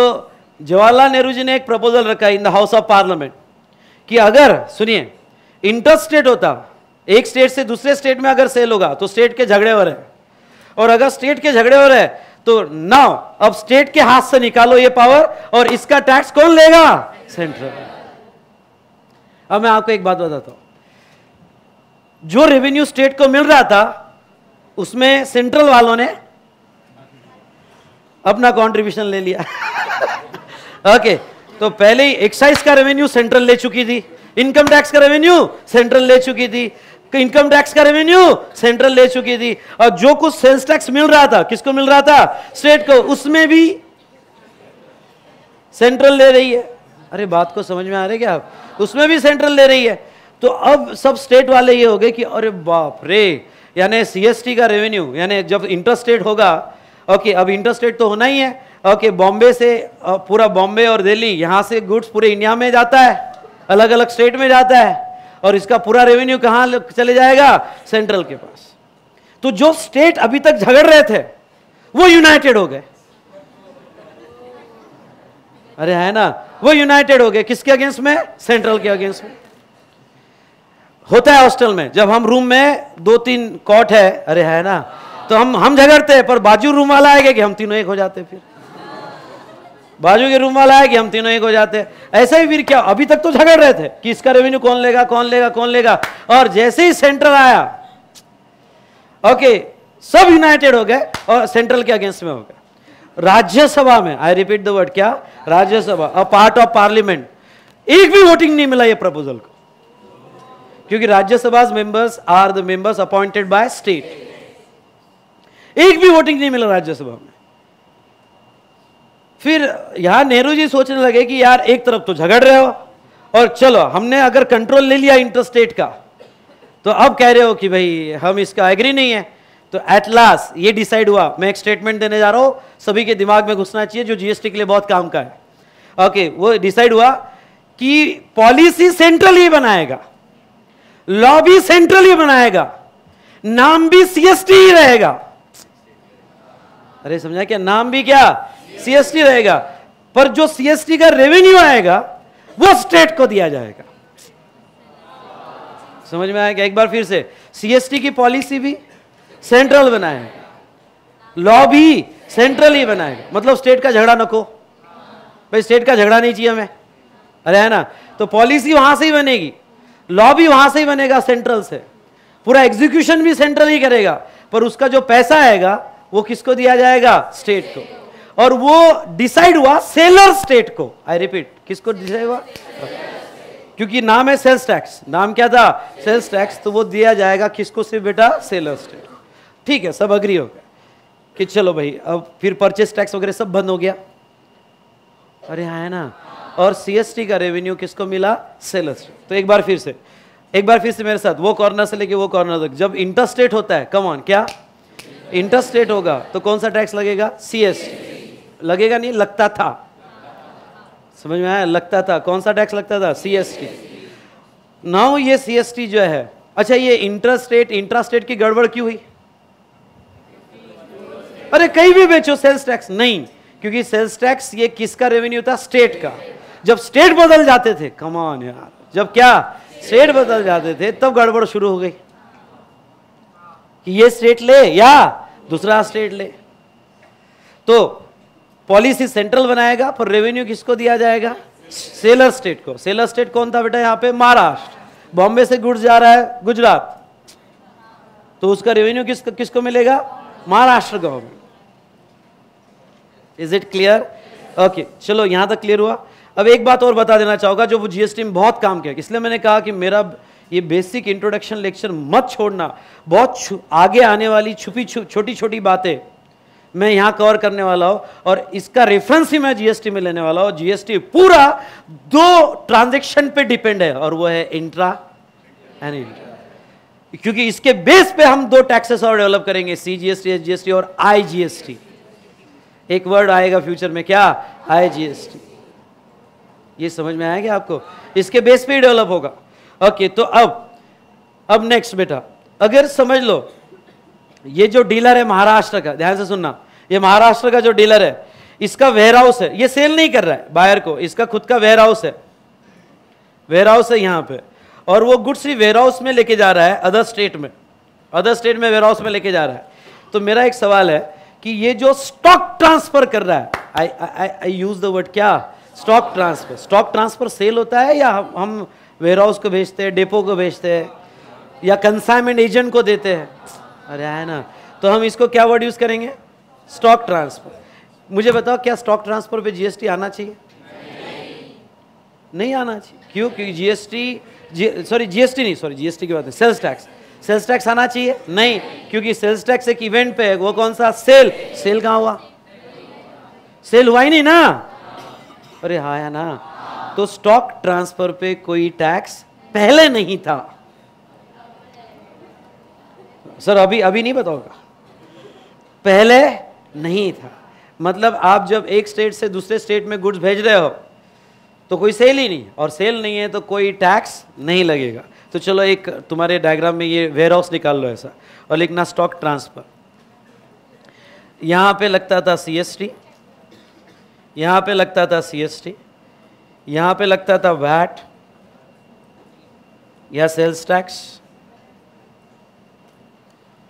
वैट और सेल्स टैक्स और stock transfer no tax stock transfer no tax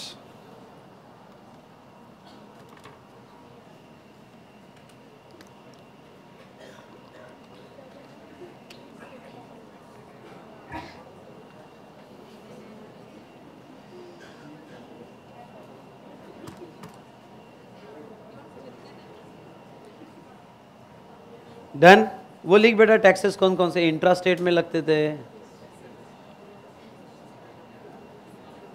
inter state में कौन सा टैक्स लगता था बेटा सीएसटी इंट्रा स्टेट में कौन सा टैक्स लगता था वैट और सेल्स टैक्स और स्टॉक ट्रांसफर के केस में कोई भी टैक्स नहीं लगता था पहले वहां लिख देना हिंदी में पहले पहले मतलब before first July 2070 before first July 2070 done चलो अब आ, अगर इंडिया में गुड्स से रिलेटेड और एक टैक्स इंडिया में अगर गुड्स इंपोर्ट होते थे तो इंपोर्ट होते थे तो कस्टम ड्यूटी लगती थी क्या लगता था बेटा कस्टम ड्यूटी वो आज भी है वो जीएसटी में मर्ज नहीं आज भी कस्टम ड्यूटी लगती है और एडिशनल ड्यूटीज लगती थी एडिशनल ड्यूटीज भी लगती थी बस लिख दो यहां पे मुझे डिटेल में नहीं जाना है क्योंकि कस्टम आपके सिलेबस में नहीं है ओके कस्टम ड्यूटी लगती थी और क्या बेटा एडिशनल ड्यूटीज लगती थी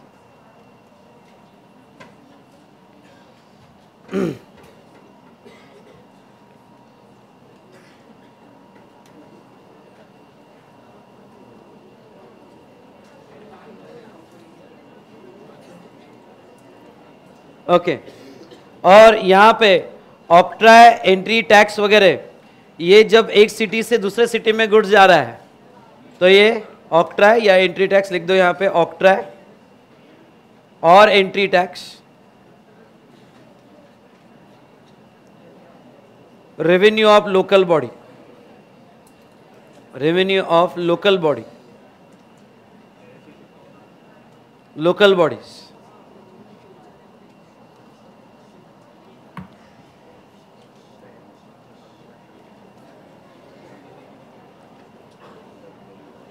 हाँ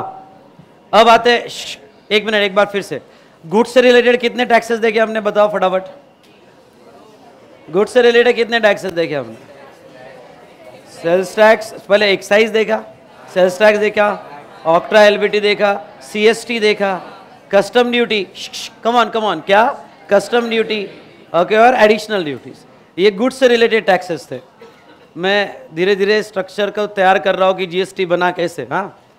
गुड्स से रिलेटेड सभी टैक्सेस हम देख रहे हैं मेजर टैक्सेस अब हम देखेंगे किससे रिलेटेड बेटा सर्विसेज सर्विसेस सर्विसेज से रिलेटेड एक मेन टैक्स था जिसका नाम था क्या सर्विस टैक्स सर्विस टैक्स था ठीक है थोड़ा बहुत इसका हिस्ट्री देख लेते हैं सर्विस टैक्स का आपको एक बात बताओ इंडिया में 1994 तक ऑन क्या कहा मैंने 1994 तक सर्विस टैक्स था ही नहीं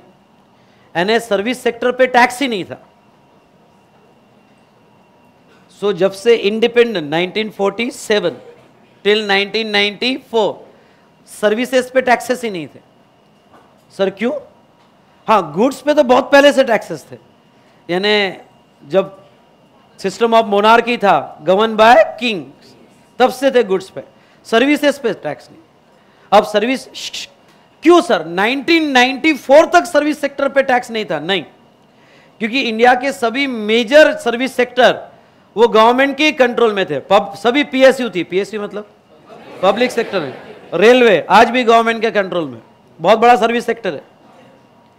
ओके बैंकिंग गवर्नमेंट के कंट्रोल में था इंश्योरेंस गवर्नमेंट के कंट्रोल में था टेलीकॉम गवर्नमेंट के कंट्रोल में था बीएसएनएल और बीएसएनएल ही चलते थे पहले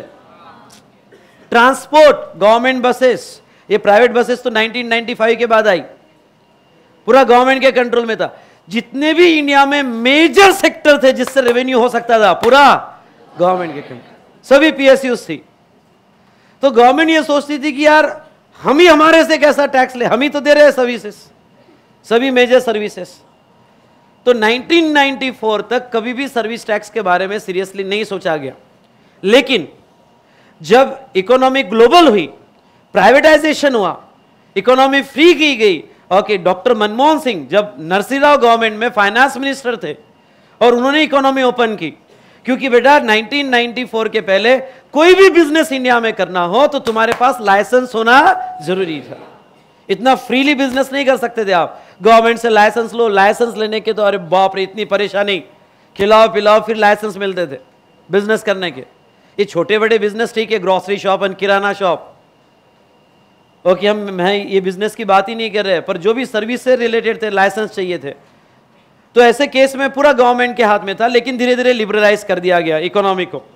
लाइसेंस राज हटाया गया ओके बहुत सी फॉरेन कंपनीज को इंडिया में अलाउ किया गया टेलीकॉम सेक्टर में इंश्योरेंस सेक्टर में और यहां पे इंडियन गवर्नमेंट ने ये कह दिया एट लास्ट कि ठीक है ओके फॉरेन कंपनीज को आप इंडिया में आ सकते हो बिजनेस करने ओके धीरे धीरे धीरे धीरे सेक्टर ओपन किए गए ये समझ में आया बेटा और इसका बहुत फायदा हुआ बहुत फायदा हुआ आज मैं एक एग्जाम्पल लेता हूँ बैंकिंग सेक्टर का ओके okay, मुझे याद है 1996 या 1997 में मैं कुछ फिफ्थ या सिक्स में होगा ओके okay, तब बैंक से लोन लेना बड़ा एक डिफिकल्ट काम था बहुत ही डिफिकल्ट काम था यानी मेरे पापा को होम लोन चाहिए था कुछ एटी थाउजेंड रुपीज़ का तब तो एटी थाउजेंड के लिए बैंक के दस चक्कर काटो वहाँ के क्लार्क को भी खुश करो और मैनेजर को भी खुश करो ओके नाउ बैंक में जाओगे क्योंकि सब बैंक ओके uh, यहाँ पे गवर्नमेंट के कंट्रोल में थी बैंक में जाओगे तो लाइन में लगो दुनिया भर की परेशानी पर आज आज पूरा सिनारियो बदल गया है बेटा आज अगर आप कोई ओके आईसीआईसीआई में या एचडीएफसी में या कोई भी स्टैंडर्ड चार्टर्ड में जाते हो तो एक वहां से रिसेप्शनिस्ट आती है और कहते हैं मैं हेल्प यू ऐसा लगता है बाप रे नो सिनारियो बदल गया परफेक्ट कंपटीशन हो गई है अरे आया ना ओके सिनारियो बदल गया है नाउ अब तो मुझे रोज मेल आता है कि sir you are ten lakhs loan approved मैंने बोला और अप्लाई भी नहीं किया और अप्रूव्ड क्यों क्योंकि जब कंपटीशन मिली प्राइवेट सेक्टर आया तब यहां पे ये गवर्नमेंट बैंक को भी कंपटीशन मिली और इन्होंने अपने आप को इंप्रूव किया और सर्विस सेक्टर बढ़ा टेलीकॉम सेक्टर मत पूछो इतना बड़ा मुझे याद है कि पहले अगर बी का टेलीफोन किसी के यहाँ होता था तो उसको रिच पर्सन माना जाता अरे इसके यहाँ फ़ोन है टेलीफोन है ये भाई अमीर आदमी है आज तो ऐसा है कि छोटे बच्चे के पास भी दो फोन है एक इसका एक उसका किस किस का मतलब यहां जहां तक देखा जाए टेलीकॉम सेक्टर इसने तो रिवॉल्यूशन कर दिया इन सिंपल वर्ड आज मैं आपको कहूं तो नो डाउट सर्विस सेक्टर बहुत बड़ा और 1994 में मिस्टर मनमोहन सिंह इन्होंने ये सोचा था कि अगर मैं इकोनॉमी लिबरलाइज कर रहा हूँ प्राइवेटाइज कर रहा हूँ तो अब कोई रीज़न नहीं बचता है कि हम सर्विस सेक्टर पे टैक्स ना लगाए सर्विस सेक्टर पे टैक्स ना लगाए और उन्होंने 1994 में सर्विस टैक्स लगाया पर धीरे धीरे लगाया पहले तीन सर्विसेज पे लगाया बढ़ाते बढ़ाते फिर सभी सर्विसेज लाई उन्होंने ठीक है सर्विस टैक्स अब मैं यहां पे पर अब आपको इसमें भी एक बात बता देता हूं सर्विस टैक्स का रेवेन्यू पूरा सेंट्रल ने रखा था किसने रखा था सेंट्रल मुझे याद है 1994 का जब मैं पूरी हिस्ट्री पढ़ता हूँ तो 1994 में स्टेट वालों ने कहा नया टैक्स आ रहा है तो मनमोहन सिंह ने कहा हाँ अच्छा तो नया टैक्स आ रहा है तो इसका रेवेन्यू कैसे होगा तो मनमोहन सिंह इन्होंने कहा कि सेंट्रल लेगा नहीं तुमको मिल रहा है हमको भी चाहिए शेयर करो स्टेट वालों के साथ तो मनमोहन सिंह इन्होंने कहा था तीन ही तो सर्विस है 1994 में तीन ही सर्विसेज पर आया था telecom stock stock and insurance services तो तीन ही सर्विसेज पे आया था तो तीन ही तो सर्विसेज है कहां रेवेन्यू शेयर करेंगे धीरे धीरे बढ़ता गया नाउ जीएसटी आने के पहले 2016 का रेवेन्यू सर्विस टैक्स का 80,000 करोड़ क्रॉस हो गया कितना कहा मैंने 80,000 करोड़ सर्विस टैक्स का रेवेन्यू क्रॉस हुआ तभी तो भी सेंट्रल ने स्टेट के साथ उसको शेयर नहीं किया और पूरा का पूरा रेवेन्यू किसको रख, किसने लगा सेंट्रल ने ओके तो यहां पे अगर कोई सर्विसेज दे रहा अच्छा सर्विस टैक्स पूरा सेंट्रल का था कम ऑन किसका था सेंट्रल का था इसलिए ऑल ओवर इंडिया कहीं पे भी सर्विसेज दो सेंट्रली टैक्स लगाएगी इसलिए सर्विस टैक्स में इंट्रा स्टेट और इंटर स्टेट ऐसा डिवाइडेशन नहीं था ये intra state inter state divideation क्यों होता है come on intra state inter state divideation क्यों होता है जब रेवेन्यू किसका होता है स्टेट का और स्टेट बदल जाते हैं तो सर्विस टैक्स स्टेट का रेवेन्यू था ही नहीं सर्विस टैक्स किसका रेवेन्यू था सेंट्रल का तो नौ बेटा अगर तुम सर्विसेज सेम स्टेट में दो या क्या बेटा अदर स्टेट में दो एक ही टैक्स लगता था कौन सा service tax is it clear okay तो यहां लिख दो यहां पे भी सर्विस टैक्स लग रहा है यहां पे भी सर्विस टैक्स लग रहा है ओके okay, एक ही टैक्स लग रहा है सर्विस टैक्स दोनों सिचुएशन में ठीक है उसके बाद में यहाँ नेक्स्ट कुछ होटल इंडस्ट्री पे लग्जरी टैक्स भी थे वो भी सर्विसेज पे ही थे लिख दो यहाँ पे होटल इंडस्ट्री पे इंडस्ट्रीज पे लग्जरी टैक्सेस भी थे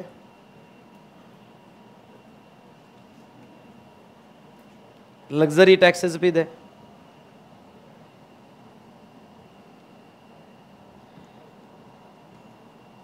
हाँ लॉटरी बेटिंग गैमलिंग ये भी टैक्सेस बेटिंग पे अलग से टैक्सेस था गैमलिंग पे अलग से टैक्सेस थे स्टेट गवर्नमेंट के पास थे और लॉटरी पे भी अलग से टैक्सेस थे ये भी स्टेट रेवेन्यू था लिख देना यहाँ पे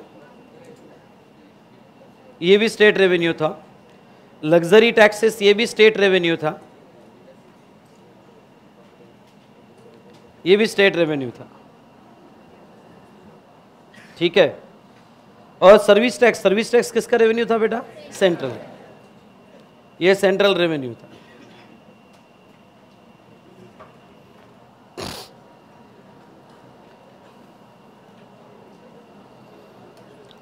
ओके तो इस तरह से डिफरेंट टैक्सेस जो है वो अलग अलग टैक्सेस यहां पे लगाए जा रहे थे अब आपका एक आर्टिकल हुआ होगा आर्टिकल कौन सा बेटा 246 हुआ है क्या आपका ये आर्टिकल एक मिनट हमने कौन कौन से आर्टिकल देखे 265, 245 और ये 246 आर्टिकल 246 शेड्यूल सेवन उसमें तीन लिस्ट थी एक लिस्ट का नाम क्या था यूनियन लिस्ट दूसरा क्या स्टेट लिस्ट और तीसरा करेंट लिस्ट सुना है ये क्योंकि मैं ये नहीं पढ़ाता हूँ क्योंकि आपका ऑलरेडी इनकम टैक्स या लॉ में हो जाता है ठीक है तो ये आपका उसको ही मैं कैरी फॉरवर्ड करता हूँ ठीक है तो नाउ अच्छा यूनियन लिस्ट यानी क्या बेटा सेंट्रल गवर्नमेंट की लिस्ट और स्टेट लिस्ट और कॉन्करेंट लिस्ट दोनों की लिस्ट थी अच्छा यूनियन में ध्यान से देखिएगा okay income tax union list में कवर्ड है ये यूनियन लिस्ट में कवर्ड है इसका मतलब इसका रेवेन्यू टोटली कौन लेगा सेंट्रल इसका रेवेन्यू कौन लेगा सेंट्रल अच्छा कस्टम ड्यूटी भी लिस्ट वन में है अंडरलाइन करते जाओ ओके एक्साइज भी लिस्ट वन में है ओके सीएसटी भी लिस्ट वन में है सर्विस टैक्स भी किस में था लिस्ट वन में था ओके लेकिन आपको ये पता है कि एग्रीकल्चर इनकम पे टैक्स लगाने का पावर स्टेट के पास है हाँ लिस्ट टू में और किसके पास है स्टेट के पास पर अभी तक स्टेट गवर्नमेंट ने एग्रीकल्चर इनकम पे टैक्स नहीं लगाया नहीं आप जो लेते हो सिर्फ रेट पर्पस के लिए लेते हो एग्रीगेशन में ठीक है पर कुछ एग्रीकल्चर इनकम पे अभी भी स्टेट गवर्नमेंट ने कुछ ही स्टेट ने एक्शन लिया बाकी बहुत से स्टेट ने इसके ऊपर टैक्स नहीं लगाया अच्छा वेरी वेरी इंपॉर्टेंट मैं इस एंट्री पे आपका ध्यान लाना चाहूंगा लिस्ट टू में सभी आ जाए लिस्ट में एंट्री नंबर 51 और एंट्री नंबर 51 में लीकर पे ओपीएम पे एक्साइज ड्यूटी लगाने का पावर स्टेट के पास था अब ध्यान से सुनना ये मुझे एंट्री लगेगी जीएसटी में एक मिनट वैसे एक्साइज ड्यूटी लगाने का पावर किसके पास है सेंट्रल के वैसे किसके पास है सेंट्रल लेकिन ओके यहां जब कॉन्स्टिट्यूशन बन रहा था तो डॉक्टर बाबा साहेब आम्बेडकर इन्होंने हर गुड्स पे एक्साइज लगाने का पावर सेंट्रल को दे दिया था लेकिन कुछ गुड्स का रेवेन्यू स्टेट को दिया कौन से गुड्स का रेवेन्यू स्टेट को दिया एक्साइज का लीकर लीकर मतलब alcohol use for human consumption I repeat alcohol use for क्या तो लीकर पे एक्साइज लगेगी पर वो एक्साइज का रेवेन्यू स्टेट लेगा आई रिपीट एक बार मेरे साथ रिपीट करना लीकर पे एक्साइज लगेगी और वो एक्साइज का रेवेन्यू स्टेट लेगा और ओपीएम नार्कोटिक्स ओपीएम नार्कोटिक्स मतलब चरस गांजा हाँ प्रोड्यूस होता है तो ओपीएम नार्कोटिक्स अगर कोई चरस गांजा वगैरह प्रोड्यूस कर रहा है तो उस पर लाइसेंस लेने पड़ते हैं स्टेट गवर्नमेंट के क्योंकि मेडिसिन में यूज होते हैं अरे है हाँ ना तो ओपीएम वगैरह मेडिसिन में यूज होते हैं और ये अफीम वगैरह जो भी ये प्रोड्यूस करेगा ओके उसका एक्साइज लगे प्रोडक्शन पे एक्साइज लगेगा पर वो एक्साइज का रेवेन्यू स्टेट का रहेगा या सेंट्रल का रहेगा स्टेट का रहेगा तो एक बार फिर से कौन से दो गुड्स है जिसपे स्टेट का रेवेन्यू रहेगा लिकर और ओपीएम या अल्कोहल या ओपीएम तो ये रहेगा उसके बाद में यहाँ पे entry tax that is octroi है टैक्स ऑन सेल और परचेस ये स्टेट के पास था एंटरटेनमेंट टैक्स वगैरह ये भी स्टेट के पास था चलो मैं थोड़ा आपका ध्यान लिस्ट थ्री पे लाना चाहूँगा लिस्ट थ्री ये बताओ लिस्ट थ्री क्या होती है कॉन्करेंट लिस्ट होती है कॉन्करेंट लिस्ट मतलब ऐसे कुछ सब्जेक्ट्स आई रिपीट क्या ऐसे कुछ सब्जेक्ट जिसपे दोनों गवर्नमेंट दोनों मतलब सेंट्रल और स्टेट दोनों गवर्नमेंट लॉ बनाएगी ओके okay, इसमें टैक्स वाला सब्जेक्ट नहीं होता है ओके okay, टैक्स वाले सब्जेक्ट्स आपको आइदर लिस्ट वन में मिलेंगे या लिस्ट टू में मिलेंगे लिस्ट थ्री में नहीं मिलेंगे इसमें जैसे फॉरेस्ट एजुकेशन वुमेन वेलफेयर ऐसे सब्जेक्ट दिए जहां सेंट्रल भी लॉ बनाएगी अलग से और स्टेट भी लॉ बनाएगी अलग से जैसे टेररिज्म है आई रिपीट द वर्ड क्या टेररिज्म यहां सेंट्रल भी लॉ बनाएगी और स्टेट भी लॉ ठीक है एजुकेशन एजुकेशन पे सेंट्रल लॉ भी बनेगा तो स्टेट भी बनेगा ये समझ में आ रहा है सीबीएसई बोर्ड e भी है तो स्टेट बोर्ड भी है डिड यू अंडरस्टैंड तो दोनों अपने अलग अलग लॉ बनाएगी इज इट क्लियर तो ये था रिगार्डिंग टू थ्री एंट्रीज अब देखो क्या हुआ नेक्स्ट पेज पे एक ये डिस्कशन पे आना जीएसटी पे ये डायग्राम मैं बाद में एक्सप्लेन करूंगा अब जीएसटी पे नाउ जीएसटी लाने का ऑब्जेक्ट क्या था one nation one tax one market ये हमारा आज का लास्ट डिस्कशन बस समझ लो फिर हम जीएसटी का पूरा स्ट्रक्चर कल से स्टार्ट करेंगे ठीक है वन नेशन वन टैक्स और क्या वन मार्केट ठीक है ये वन यही मैं एक्सप्लेन करूंगा कि ओके तो ये one nation one tax one market किस तरह से क्या हुआ ना ध्यान से सुनना मोदी जी का ड्रीम प्रोजेक्ट था make in India Modi ji का ड्रीम प्रोजेक्ट था क्या बेटा मेक इन इंडिया बहुत सी फॉरेन इन्वेस्टमेंट इंडिया में लाना था पर फॉरेन इन्वेस्टर इंडिया में नहीं आ रहे क्यों नहीं आ रहे प्लीज प्लीज ध्यान से सुनिएगा क्यों क्योंकि पहली बात उनका यह कहना था कि तुम्हारे इंडिया में बहुत अलग अलग लॉज है ओके उसके बाद में इतने अलग अलग लॉज में अगर आपने ध्यान रखा होगा तो एक्साइज वैट में ऐड हो जाता है कहीं ना कहीं डबल टैक्सेशन हो जाता है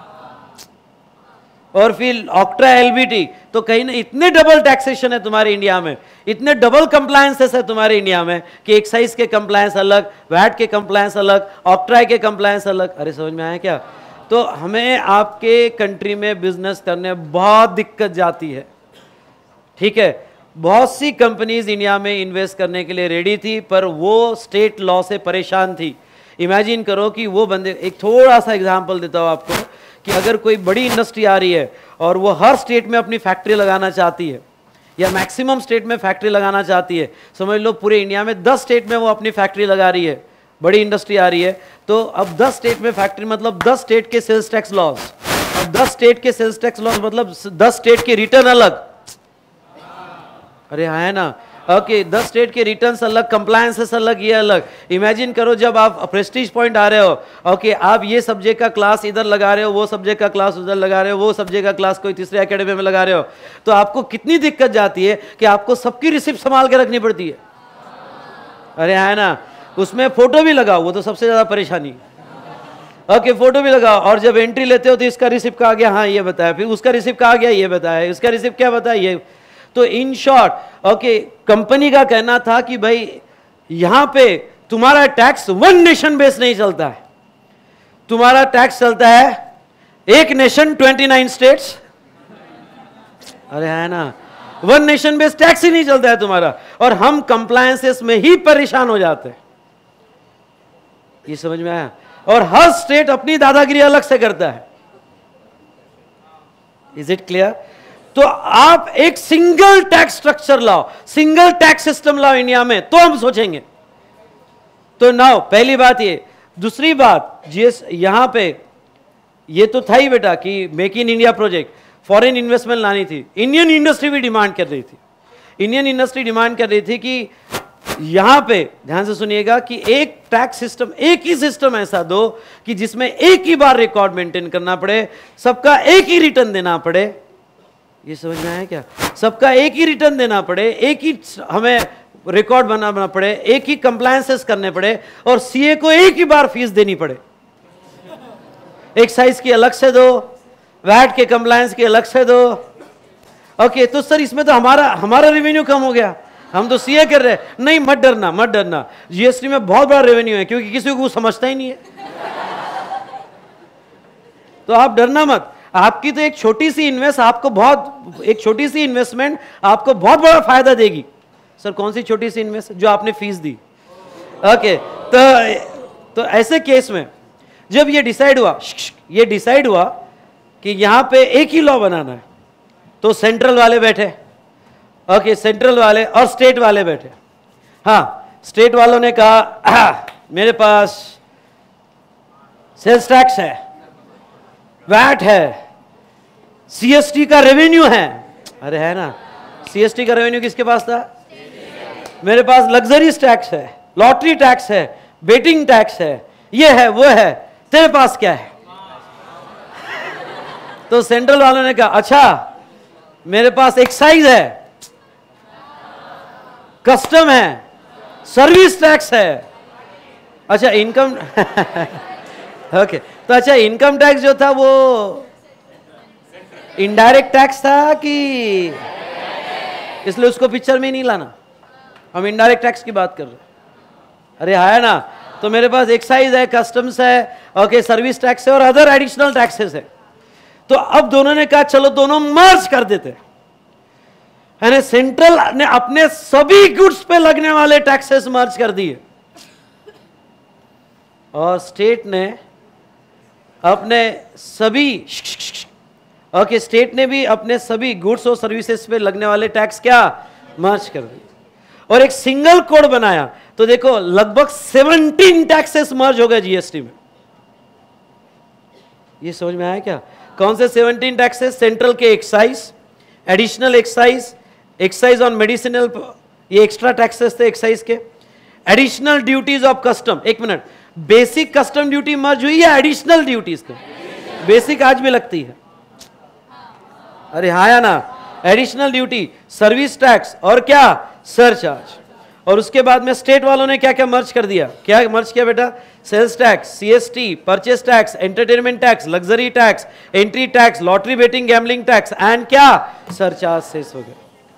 ऐसे ये लिस्ट लर्न करनी पड़ेगी कौन कौन से टैक्सेस जो है सेंट्रल ने मर्ज किए और कौन कौन से टैक्सेस क्या स्टेट और ये मर्ज करके उन्होंने डिसाइड किया कि एक ही लॉ इंडिया में बनाते हैं और वो लॉ का नाम रखते हैं क्या GST goods and services tax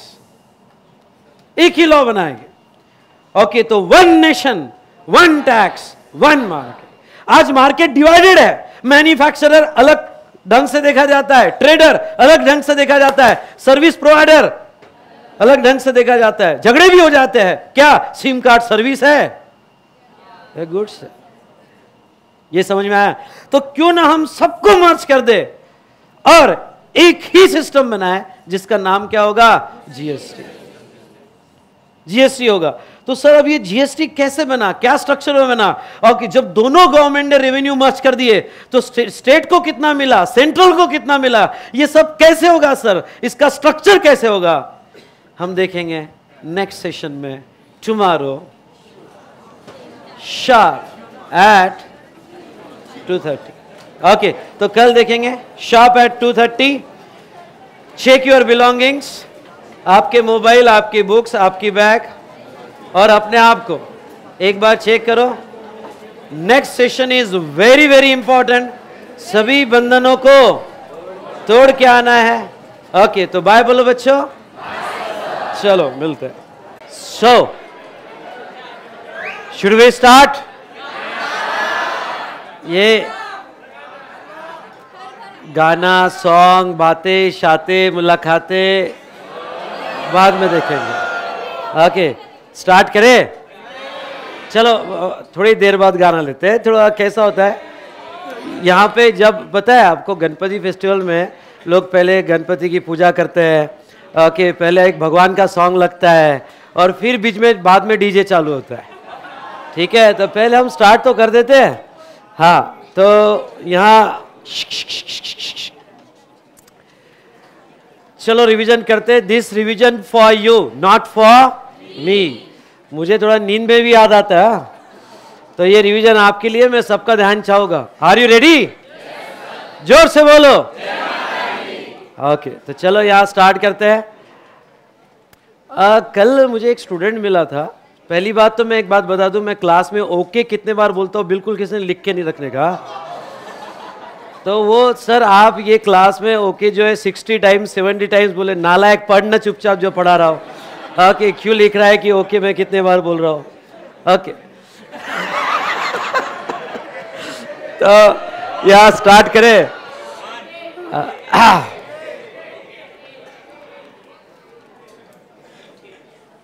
So in last session, we have seen basic introduction of direct taxes, indirect taxes, their differences. Sir for exam purpose आपने हमें जो पढ़ाया तो एग्ज़ाम के हिसाब से कितना इम्पॉर्टेंट है डिफरेंस आ सकता है दो से तीन मार्क का difference between direct and indirect tax लेकिन वो डिफरेंस को मैंने सफिशिएंट टाइम इसने लिया बहुत सी बार स्टूडेंट्स में बड़ा कन्फ्यूजन हो जाता है और कन्फ्यूजन इस बात का हो जाता है कि सर इनकम टैक्स भी लग रहा है इनडायरेक्ट टैक्स भी लग रहा है तो ऐसे सिचुएशन में दोनों कन्फ्यूज हो जाते हैं असेसमेंट ईयर प्रीवियस ईयर तो हमने इसको थोड़ा डिटेल में देखा हमने इसमें डिटेल में ये बात किया कि हाँ कुछ स्टूडेंट्स को नोट्स नहीं मिला कल मिल जाएगा आज प्रिंट होके आ जाएगा कुछ शॉर्ट हो गई थी नोट्स ठीक है तो कल आप क्लास स्टार्ट होने के पहले नोट्स कलेक्ट कर लेना जिसको भी नहीं मिला ठीक है तो यहाँ पे इनडायरेक्ट टैक्सेस में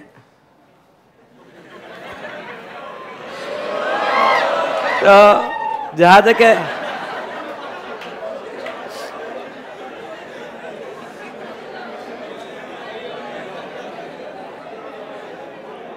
आ, बेटा छोड़ दिया तेरे को मूड अच्छा है मेरा हाँ तो ऐसे केस में इनडायरेक्ट टैक्सेस में असेसमेंट ईयर प्रीवियस ईयर या फिर ऐसा कुछ नहीं होता है इनडायरेक्ट टैक्सेस में असेसमेंट इमीडिएट होता है ट्रांजेक्शन होते ही असेसमेंट करना पड़ता है आ, क्योंकि जो तुम्हारा कस्टमर है वो कोई बाद में आने वाला नहीं है ऐसा तो नहीं होगा कि आपने गुड्स भेज दिया सर्विसेज भेज दिया और कहा कि नेक्स्ट ईयर आना मस्त है कि ऐसा तो होने वाला नहीं है ठीक है तो ट्रांजेक्शन यहाँ इमीडिएट असेसमेंट में है उसके बाद में हमने दो तीन डिफरेंसेस और देखे पर एक बात बता दो बेटा अभी से ही मेंटली आपकी प्रिपरेशन ऐसे रखना और दिमाग में एक बात को फिट कर लेना और वो ये बात please don't talk in between फिर से कहता हूँ रिवीजन आपके लिए और अगर आपने घर पे नहीं पढ़ा होगा तो मुझे सिर्फ दस मिनट दे दो पूरा रिवाइज़ कर दूंगा ठीक है पूरा आपका 100 परसेंट अटेंशन के साथ ठीक है तो इनडायरेक्ट टैक्सेस में हमने क्योंकि देखो कभी कभी ऐसा हो सकता है जैसे इनकम टैक्स इनकम टैक्स में चैरिटेबल ट्रस्ट की इनकम एग्जाम है लेकिन इनडायरेक्ट टैक्स में चैरिटेबल ट्रस्ट की एक्टिविटीज़ बहुत सी एग्जाम नहीं है क्योंकि दोनों के ऑब्जेक्ट बहुत ही अलग है चैरिटेबल ट्रस्ट ने कमाया हुआ इनकम आई रिपीट कमाया हुआ इनकम ओके okay. वो चैरिटेबल चैरिटी के लिए यूज करेगा इसलिए एग्जाम है तो ये इनडायरेक्ट टैक्स है बर्डन पास ऑन ये बर्डन पास ऑन होगा तो बहुत सी एक्टिविटी चैरिटेबल ट्रस्ट के टैक्सेबल भी है इसलिए दोनों को बिल्कुल अलग अलग रखना ओके डायरेक्ट एंड इनडायरेक्ट इस पर हमारी बात हुई फिर मैंने आपको ये भी बहुत अच्छे से समझाया कि डबल टैक्सेशन नहीं लगता है डबल टैक्सेशन है लेकिन डबल टैक्सेशन नहीं है दोनों के ऑब्जेक्ट अलग अलग है वही एक लाख का बीस हजार प्रॉफिट बचा था तो बीस हजार के प्रॉफिट पे इनकम टैक्स लगाया गया ठीक है और वही एक लाख पे सेल्स टैक्स भी लगाया गया था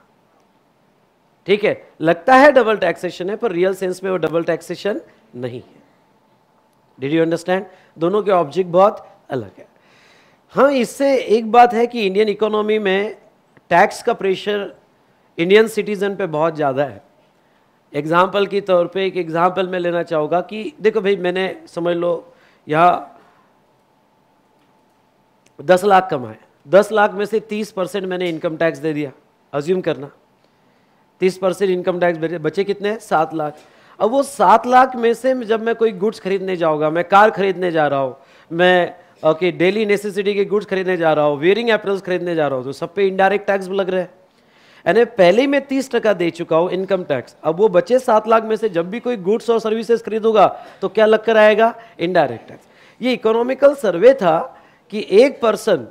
एक पर्सन अपने कमाई हुई इनकम का 60 से 70 टका सिक्सटी टू सेवेंटी परसेंट सिर्फ टैक्सेशन देता है गवर्नमेंट को और 30 पैसा या 40 पैसा उसके पास बचता है फिर वो 60 टू 70 परसेंट में वो direct as well as indirect taxes वो पे कर रहा है ये सर्वे था पर ठीक है दोनों के ऑब्जेक्ट अलग अलग है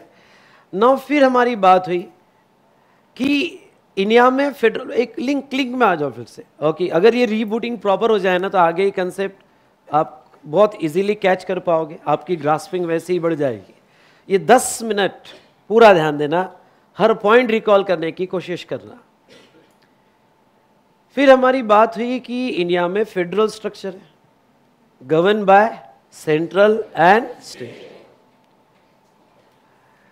तो टैक्स दोनों गवर्नमेंट लेती है क्योंकि दोनों गवर्नमेंट के अपने खर्चे हैं दोनों गवर्नमेंट लेती है और म्यूनिसिपल लेवल पर भी टैक्स लगता था तो फर्स्ट जुलाई 2017 के पहले सेंट्रल लेवल पे एक्साइज लगते थे गुड्स पर कस्टम्स ड्यूटी था गुड्स पर तो गुड्स पे स्टेट लेवल पे सेल्स टैक्स या वैट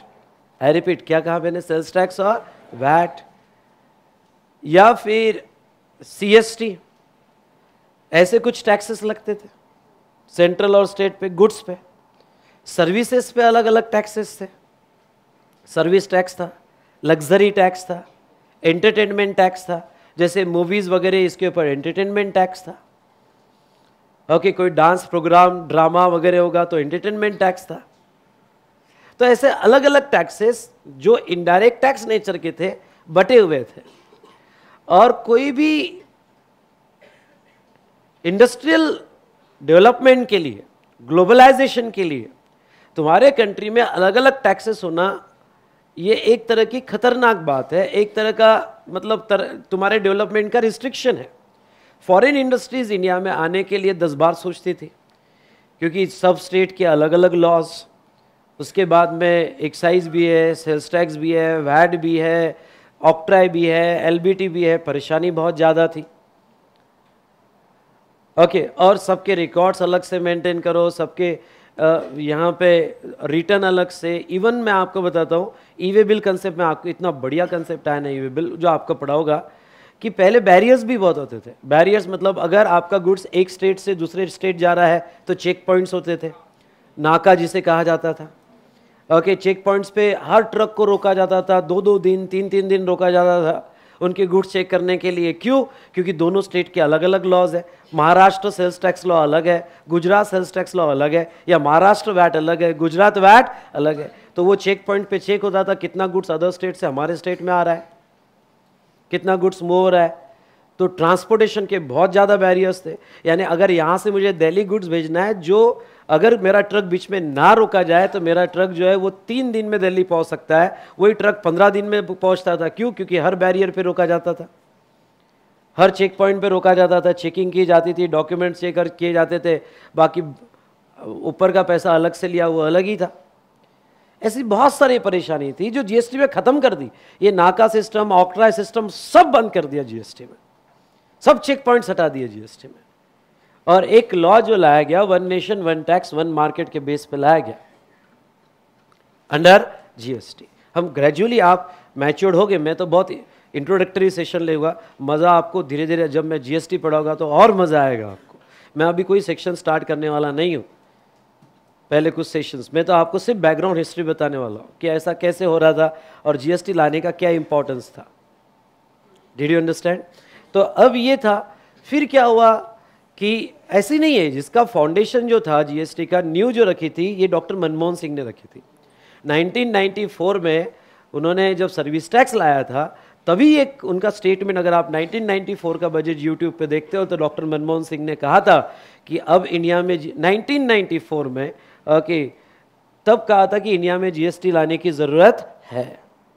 हम बहुत लेट है जीएसटी लाने में ओके फिर 2000 वाजपेयी गवर्नमेंट में ओके यशवंत सिन्हा जी ने कहा था 2002 में कि जीएसटी इंडिया में लाना ज़रूरी है फिर ओके यहाँ मनमोहन सिंह गवर्नमेंट आई जिसमें पी चिदम्बरम ये फाइनेंस मिनिस्टर थे तो पी चिदम्बरम ने भी कहा और नो डाउट स्ट्रक्चर उन्होंने स्टार्ट किया बनाना जीएसटी का आज जीएसटी का स्ट्रक्चर कोई इजी जॉब नहीं था यार बनाना सभी स्टेट को एक कॉमन प्लेटफॉर्म पे लाना सबको समझाना कि तुम्हारे सब टैक्स मर्ज कर दो जीएसटी में हम भी मर्ज करते तुम भी मर्ज करो चलो एक कॉमन टैक्स लगाते दोनों मिलकर ये समझाना कोई आसान बात नहीं थी ओके okay, इंडिया में 29 स्टेट्स है सेवन यूनियन टेरिटरीज है अलग अलग स्टेट में अलग अलग गवर्नमेंट है सबको कॉमन इंटरेस्ट पे लाना कमर्श वो भी कमर्शियल पॉइंट पे कोई इजी जॉब नहीं था 2004 से ये शुरुआत हुई ओके यहाँ पी चिदम्बरम ने यहाँ पे ओके प्रपोजल रखने की कोशिश की गई जीएसटी कमेटी बनाई गई हाई पावर कमेटी बनाई गई पार्लियामेंट लेवल पे बनाई गई सब स्टेट को समझाया गया तभी नहीं कुछ नहीं हुआ मैंने यूपीए गवर्नमेंट ने पूरी कोशिश कर ली थी पर ओके कुछ नहीं हो पाया ओके उसके बाद में यस मोदी जी ने पहले तीन चार साल कोशिश की 2014 में मोदी जी आए उन्होंने भी कोशिश की लेकिन फिर बात भी सही है एक लीडरशिप की क्वालिटी मैं मानता हूँ मोदी जी में है कि उन्होंने 2017 में ये डिसीजन लिया कि यार आप अब कूद जाओ तो तैरना आ जाएगा अब वो बहुत से लोगों ने कहा कि तैयारी बिल्कुल नहीं है और तैयारी बिल्कुल नहीं है पर नो उन्हें ठान ली कि नहीं मैं जीएसटी ला के रहूँगा कूद जाओ तो उन्होंने यानी मैं आपको बताता हूँ कि एक जुलाई 2017 को यहाँ पे जीएसटी लॉ हुआ और 20 जून को जीएसटी लॉ की एग्जामेशन लिस्ट फाइनल हुई लॉ का स्ट्रक्चर फाइनल हुआ सिर्फ 11 दिन में लॉ इंप्लीमेंट किया गया ऐसा वर्ल्ड में पहली बार हुआ कि ओके फेज फेज में इंडस्ट्री को पढ़ने दिया लॉ जिसको हम बोलते हैं white paper white paper okay industry को कि भाई हम ऐसा लॉ ला रहे हैं पर फेस पेज में पढ़ने दिया और 20 जुलाई 20 जून को फाइनल करके 1 जुलाई को ओके इम्प्लीमेंट कर दिया लॉ 11 दिन के अंदर ओके इम्प्लीमेंट कर दिया क्या तो ऐसे सिचुएशन में नुकसान ये हुआ कि इसमें बहुत सा रेवेन्यू लॉस हो गया जिसके वजह से जीडीपी डाउन हो गई क्यों क्योंकि गवर्नमेंट का जो क्योंकि जीएसटी जो है पूरा आईटी बेस्ड स्ट्रक्चर पे है यानी विदाउट आईटी जीएसटी का इम्प्लीमेंटेशन करना पॉसिबल नहीं था पूरा आईटी बेस्ड स्ट्रक्चर था जीएसटी का तो ऐसे सिचुएशन में गवर्नमेंट का आईटी इंफ्रा रेडी नहीं था और उसके वजह से बहुत बहुत लोगों ने जीएसटी छुपाया और गवर्नमेंट का बहुत बड़ा नुकसान हुआ जिसके वजह से जीडीपी भी डाउन हुआ तो देश का नुकसान हुआ लेकिन चलो ठीक है फिर अभी नहीं लाते मोदी जी तो कभी ना कभी तो लाना ही पड़ता ओके तो बहुत सी बातें हैं और उसमें भी दूसरी बात ओके बीजेपी गवर्नमेंट ने नोटबंदी कर दी दोनों झटके एक साथ दिए जीएसटी का झटका दिया जिसकी वजह से बिजनेसमैन परेशान हुए और छुपाया भी गया टैक्स और दूसरा नोटबंदी की वजह से क्योंकि इंडिया में पैरल ब्लैक मनी की इकोनॉमी बैंक से टू टाइम्स है यानी जितना बैंक ट्रांजेक्शन होता है उससे डबल ओके डबल नहीं कहो two times more okay parallel cash economy चलती है और ये कैश इकोनॉमी को ख़त्म कर दिया ऑब्वियसली ख़त्म तो नहीं हुआ क्योंकि लोग अपने रास्ते निकाल लेते हैं पर ठीक है बहुत सा कम किया पर इसके वजह से पूरा सिस्टम डाउन हो गया जीडीपी डाउन हुआ ऐसी बहुत सारी बात हुई जो भी है बेटा लेकिन यहां पे मैं आपको इतना ही कहूंगा ध्यान से सुनिएगा थोड़ा क्लियर कर परत ओके तो यहां पे मैं आपको इतना ही कहूँगा कि एट लास्ट उन्होंने डिसीजन लिया जीएसटी आया पिछले ढाई साल में बहुत बहुत चेंज हुआ जीएसटी में यानी अभी समझ लो ढाई साल का बच्चा ही है कि भाई जो अभी बढ़ रहा है और हो सकता है कि जब तक आप फाइनल में आओ तब तक इसमें बहुत सारे चेंजेस और आ जाए क्योंकि ये डेवलप हो रहा है जीएसटी ठीक है तो अब सभी सेंट्रल ने अपने टैक्सेस मर्ज कर दिए स्टेट ने अपने टैक्सेस मर्ज कर दिए जितने भी गुड्स और सर्विसेज पे थे सभी टैक्सेस मर्ज करके ये डिसीजन लिया गया ओके कि क्या लाएंगे बेटा जीएसटी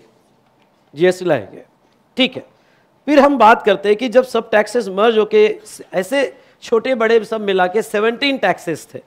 जो मर्ज हुए हाँ कुछ स्टेट में सरचार्ज सेस भी थे वैट पे सरचार्ज था कुछ स्टेट में जैसे उड़ीसा में था यानी जितना वैट लगता था उसके ऊपर सरचार्ज था तो ऐसे छोटे छोटे सरचार्ज सेस वगैरह वो भी मर्ज कर दिए कि खत्म करो अब इनडायरेक्ट टैक्स में अलग कुछ भी मत रखो एक ही नाम रखो क्या जीएसटी चलिए अब क्या हुआ कि इमेजिन करना सिचुएशन कि सेंट्रल ने अपने टैक्स मर्ज कर दिए स्टेट ने अपने टैक्स मर्ज कर दिए गुड्स और सर्विसेज अब ये जो पैसा आएगा ये कैसे बांटेगा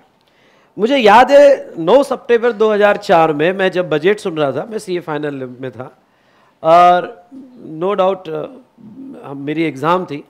ओके और बजट के अमेंडमेंट्स में देख रहा था कि क्या अमेंडमेंट्स हमें लागू होगी तो डायरेक्ट मैं बजट सुन रहा था ओके बेटा इधर ध्यान दे सब भूल जा लंबी सांस ले सब भूल जा क्या है ये एज में बहुत सारे टेंशन होते आज उसने देखा ही नहीं ठीक है आज वो आई नहीं और तेरा ख्याल पूरा दरवाजे की तरफ नहीं नहीं और ये टेंशन लेने की यही एज होती है बात की एज होती नहीं है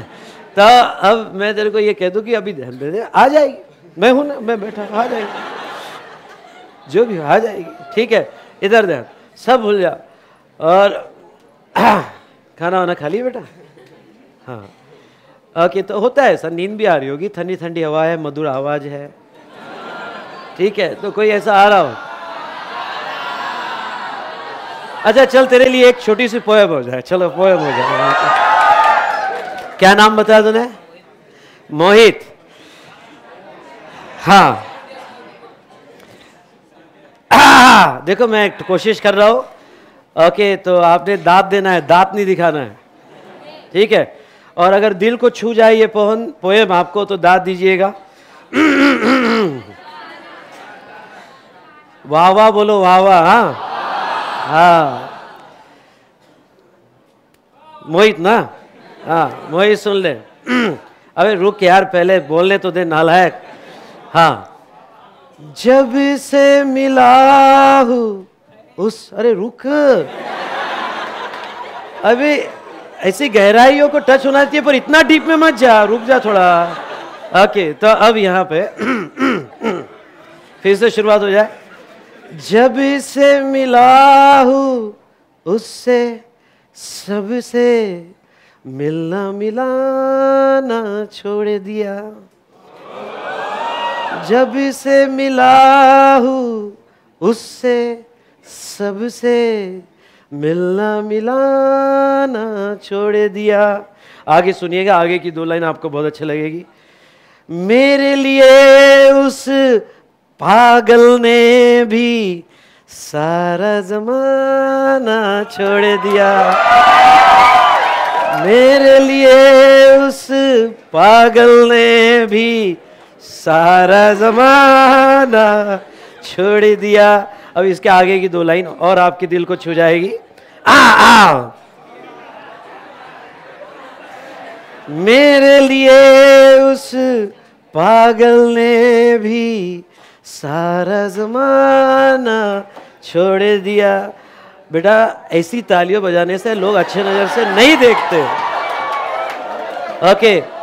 बेटा बेंच पे खड़ा रहूंगा और तेरे को कौन सी नज़र से कौन देखेगा तेरे को ही मालूम हाँ तो अब अब आगे एक वर्ड आएगा इत्र इत्र मतलब क्या परफ्यूम उसी की चाहती की खुशबू में महका महका रहता हूँ उसकी चाहती की खुशबू में महका महका रहता हूँ अब ध्यान सुन ना मैं एक बात एक बात बताओ क्या बेटा शादी के बाद बताते नहीं किसके हाँ तो उसकी चाहती की खुशबू में महका महका रहता हूँ जब से उसी का साथ मिला है इत्र लगाना छोड़ दिया ओके okay, so, ये दो लाइन थी चलो स्टार्ट करें अच्छा है तूने याद दिया नहीं तो मैं तो और कुछ कर डालता यहाँ पे डाला है क्या आप चलो स्टार्ट कर चलिए अच्छा सॉन्ग सुनोगे आप फिर पढ़ना पड़ेगा मेरे साथ ठीक है आर यू रेडी नहीं हर बार हम कल लेंगे कल लेंगे ठीक है एक अच्छा सॉन्ग लेते हैं हम्म। अब ये मत बोलना डीजे वाले बाबू जरा जरा बजा दो तो यहाँ पे हम्म। भंगे का रंगी जमालो चकाचक फिर लो पानी चबा ऐसा झटका लगे जी आप पुनर्जन्म हो जाए हो कई के पान बनारस वाला हो खुल जाए बंद अकल का ताला फिर तो ऐसा करे धमाल सीधी कर दे सबकी चाह ओ छोरा गंगा किनारे वाला ओ छोरा गंगा किनारे वाला ओ राम दुआई कैसे चक्कर में पड़ गया है है है कहा जान फसाई मैं तो सूली पे चढ़ गया है है है ओ मैं तो सीधा साधा ओ मैं तो बोला बाला मैं तो सीधा साधा ओ मैं तो भोला बाला जान कौन घड़ी में पड़ गया पढ़े लिखो से पाला मीठी छुरी से ओ मीठी छुरी से हुआ हला ओ छोरा गंगा किनारे वाला ओ छोरा गंगा किनारे वाला एक कन्या कुआरी हमारे चक्कर में पड़ गई है है है okay so now thank you thank you to all of you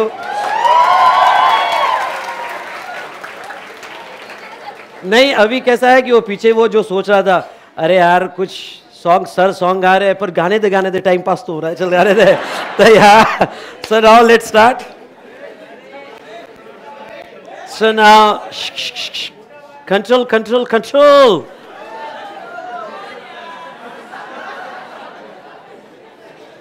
So, Mohit, should I start? okay, तो वो सोच रहा सब मजा आ गया करो चालू करो चालू या, तो या तो जीएसटी में सेंट्रल जो टैक्सेस थे और स्टेट टैक्सेस थे वो मर्ज कर दिए गए फिर डिसाइड हुआ कि ठीक है एक ही टैक्स लगाएगा यानी आज अगर कोई गुड्स बेचता है या सर्विसेज देता है तो ना एक्साइज ना वैट ना सीएसटी ना सर्विस टैक्स ना ओके कस्टम्स मतलब एडिशनल कस्टम ड्यूटी ना लग्जरी टैक्स ना एंटरटेनमेंट टैक्स ना ये ना वो ना वो फिर कौन जीएसटी एक ही टैक्स लगाएंगे चलो बात खत्म करते हैं अब ये जब टैक्स लगाया जाएगा तो इसका रेवेन्यू कौन लेगा सेंट्रल लेगा या स्टेट ऑब्वियसली दोनों लेने वाले हैं क्योंकि दोनों ने अपना टैक्स टैक्सेस क्या कर दिए मर्ज कर दिए दोनों ने अपने टैक्सेस मर्ज कर दिए तो दोनों लेंगे पर 2004 में पी चिदंबरम इन्होंने नेशनल जीएसटी की बात की थी नेशनल जीएसटी मतलब एक ही जीएसटी लगाएंगे उसको नहीं तोड़ेंगे आज वो बात अलग है कि जीएसटी टूट गया कि दो बा, दो भागों में टूट गया कौन से दो में C GST and S GST पर उनका प्रपोजल था कि नेशनल जीएसटी लगाएंगे ओनली वन जीएसटी अज्यूम करो जीएसटी का रेट 18 परसेंट तो चलो ठीक है एक ही जीएसटी लगाएंगे और वो एट द रेट क्या 18 परसेंट एटीन परसेंट तो ये पूरा जीएसटी सेंट्रल कलेक्ट कर लेगी किससे सप्लायर से सप्लायर सेंट्रल को दे देगा और बाद में सेंट्रल स्टेट को बांटेगा आई रिपीट बाद में सेंट्रल क्या स्टेट को सभी स्टेट्स को यूनियन टेरिटरीज को बांटेगा इसका 50 परसेंट पार्ट ना नहीं एग्री हुए स्टेट्स स्टेट ने कहा कि ऐसा नहीं चलेगा भाई आप ओके आप पूरा पहले पूरा कलेक्ट करोगे बाद में दोगे वैसे तुम्हारे से बहुत दिन पैसा आता नहीं है सेंट्रल से पैसा नहीं आता है ओके okay, अभी भी महाराष्ट्र गवर्नमेंट की पिछले छह महीने से जीएसटी का इंस्टॉलमेंट सेंट्रल से नहीं आया है समझ में आया ओके okay, बहुत से ऐसे स्टेट्स है कि सेंट्रल से पैसा रिलीज नहीं हो रहा है तो स्टेट वालों ने कहा कि नहीं नहीं नहीं ओके okay, भाई यहां पे आप पहले कलेक्ट करोगे फिर हमारे साथ शेयर करोगे ऐसा नहीं चलेगा अगर जीएसटी लगाना है ट्रांजेक्शन पे तो नौ उसी ट्रांजेक्शन पे स्प्लिट करके लगाओ स्प्लिट करके लगाओ मतलब टीटीएमएम पे लगाओ टीटीएमएम पे मतलब तू तेरा मैं मेरा तू तेरा मैं मेरा मतलब अगर कोई सेल करता है तो एक की जगह दो जीएसटी लगाओ एक सेंट्रल लेवल का और एक स्टेट लेवल का इमीजिएट तो अगर आप जीएसटी के रेट 18 परसेंट डिवाइड करते हैं तो 18 को आधा आधा कर दो ओके नाइन सेंट्रल का और नाइन स्टेट का अगर जीएसटी 5 परसेंट होता है तो 2.5 2.5 अगर जीएसटी 28 परसेंट होता है तो 14 14 तो इस पर चार साल डिस्कशन चला सेंट्रल वाले कहते थे नहीं फिर आधा आधा नहीं करेंगे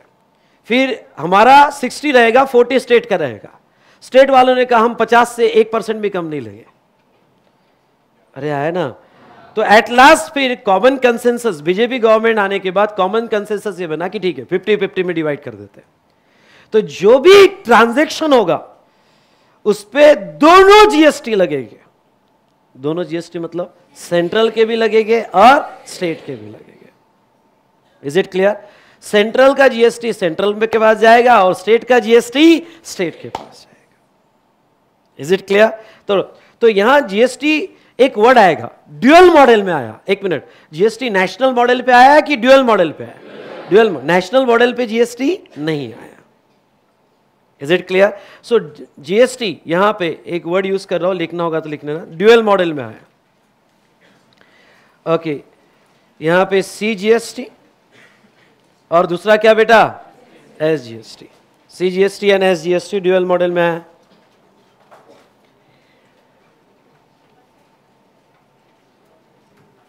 ठीक है अब सीजीएसटी का रेवेन्यू किसका रहेगा सेंट्रल का अरे है ना सो so, ये सेंट्रल का रहेगा और एसजीएसटी का रेवेन्यू किसका रहेगा स्टेट का स्टेट का रहेगा अब आपको एक बात और बता देता हूं एक यूटी जीएसटी भी है एक यूटी जीएसटी भी है UT GST union territory GST क्योंकि इंडिया में कुछ यूनियन टेरिटरीज भी है जो स्टेट्स नहीं है जैसा चंडीगढ़ हुआ दीव दमन हुआ अंदमान निकोबार हुआ हाँ दिल्ली दिल्ली पर दिल्ली में स्टेट असेंबली है के पर दिल्ली दिल्ली भी यूनियन टेरिटरी है थोड़ा दिल्ली के बारे में हम सेपरेट बात करेंगे और अभी अभी रिसेंट जम्मू एंड कश्मीर लद्दाख अरे है ना तो ऐसे सिचुएशन तो जहां यूनियन टेरिटरी यूटी मतलब union territory okay union territory है वहां यूनियन टेरिटरी का जीएसटी का रेवेन्यू रहेगा हम इसकी बात करेंगे नो नो डाउट बेटा थोड़ा ध्यान से देखिएगा तो नाउ सी और एज ड्यूएल मॉडल में जीएसटी आया ओके okay, और 50 परसेंट जो भी जीएसटी का रेट होगा बेटा ध्यान से देखिएगा जो भी जीएसटी का रेट होगा वो जीएसटी का रेट 50 परसेंट किसको जाएगा सेंट्रल को और 50 परसेंट किसको जाएगा स्टेट को जो भी रेट होगा पाँच percent twelve percent eighteen percent twenty eight percent या कोई नया रेट आ जाए फ्यूचर में जो भी रेट आएगा उसका फिफ्टी फिफ्टी परसेंट डिवाइड किया जाएगा इज इट क्लियर अब थोड़ा मैं ये डिस्कशन को आगे बढ़ाऊंगा चलो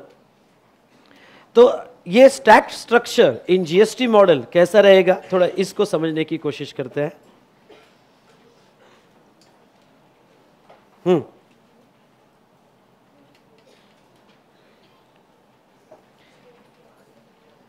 okay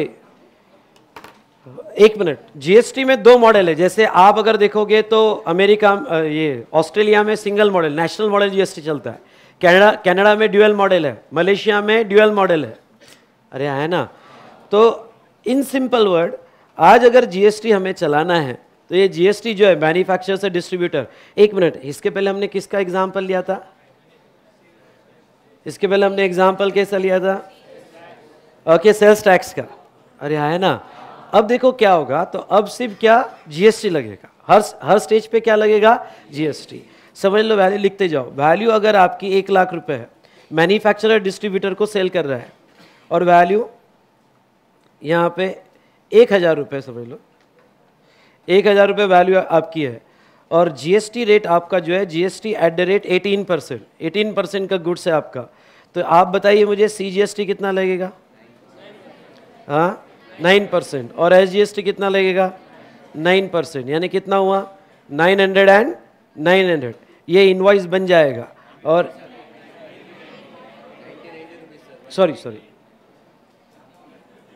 okay ninety ninety okay तो यहाँ पे बेटा नाइन्टी और ninety rupees okay total price कितनी हुई वन वन एट ज़ीरो ये गुड्स किसको बेचा जाएगा डिस्ट्रीब्यूटर को बर्डन पास ऑन मेरा पहला क्वेश्चन गवर्नमेंट को जीएसटी कौन पे करेगा हाँ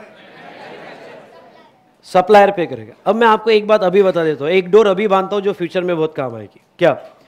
सर हमें दो जीएसटी लग रहे हैं हाँ स्प्लिट हो रहा है हाँ ठीक है पर हाँ बाकी के टैक्सेस हट गए पहले तो क्या लगता था एक्साइज भी लगता था मैन्युफैक्चरर पे फिर वो एक्साइज पर वैट भी लगता था फिर क्या एलबीटी भी लगता था हरियाणा वो सब हटा के दो ही टैक्स लगाने वाले हैं कौन सा सीजीएसटी और S G S T C G S T और S G S T clear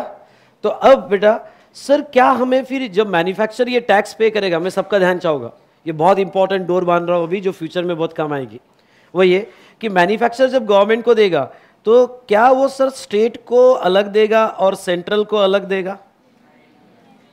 यानी सुनो सेंट्रल को सीजीएसटी अलग पेमेंट करेगा स्टेट को अलग पेमेंट करेगा एसजीएसटी फिर स्टेट के रिकॉर्ड अलग मेंटेन करेगा सेंट्रल के रिकॉर्ड अलग मेंटेन करेगा नहीं नहीं फिर क्या फायदा हुआ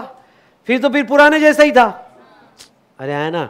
तो अब गवर्नमेंट ने क्या किया गवर्नमेंट ने ये किया कि देखो भाई ओके आपका जीएस पेमेंट करने का पोर्टल एक ही रहेगा जिसका नाम होगा जीएसटी पोर्टल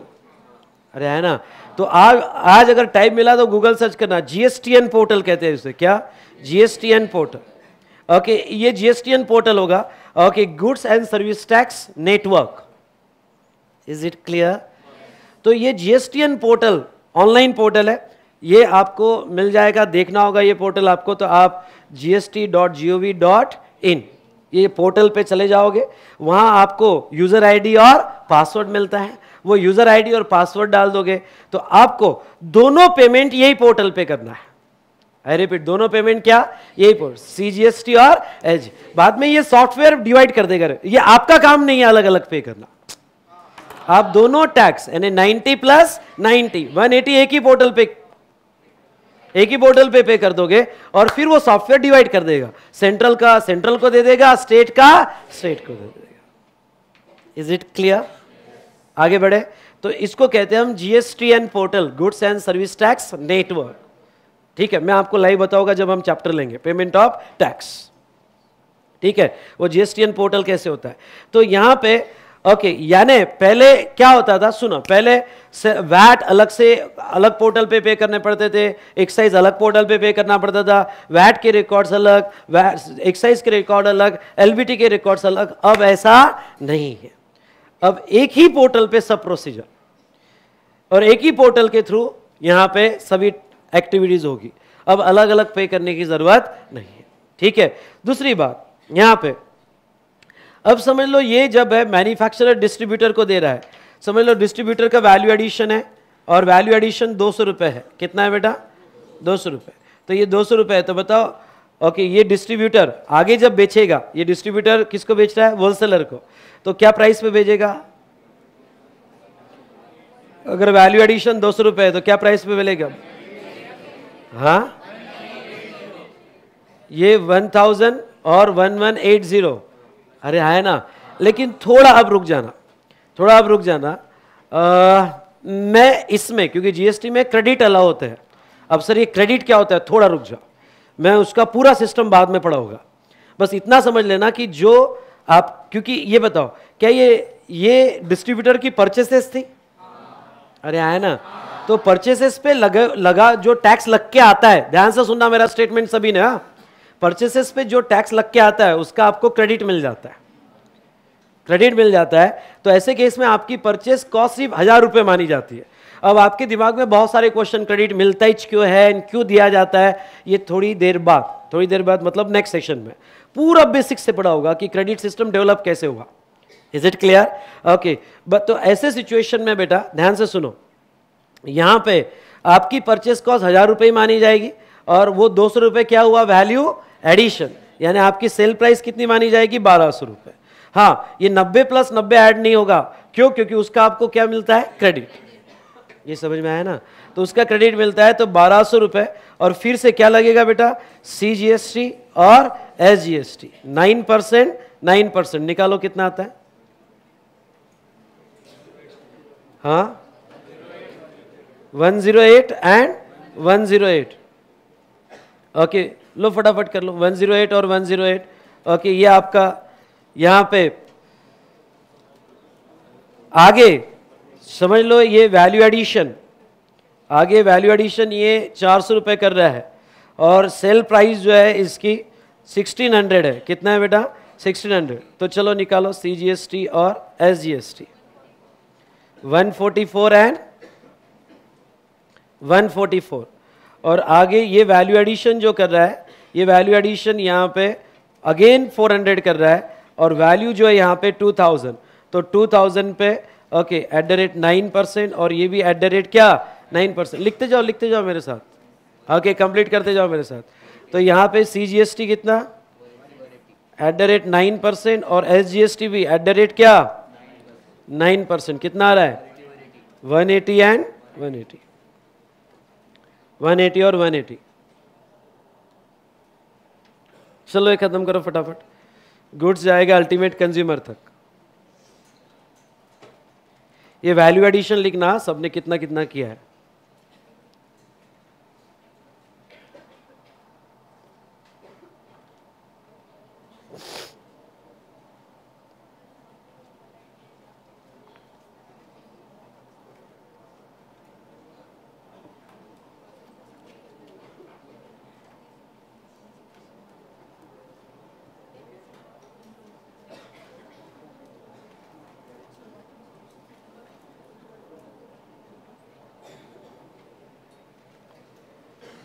डन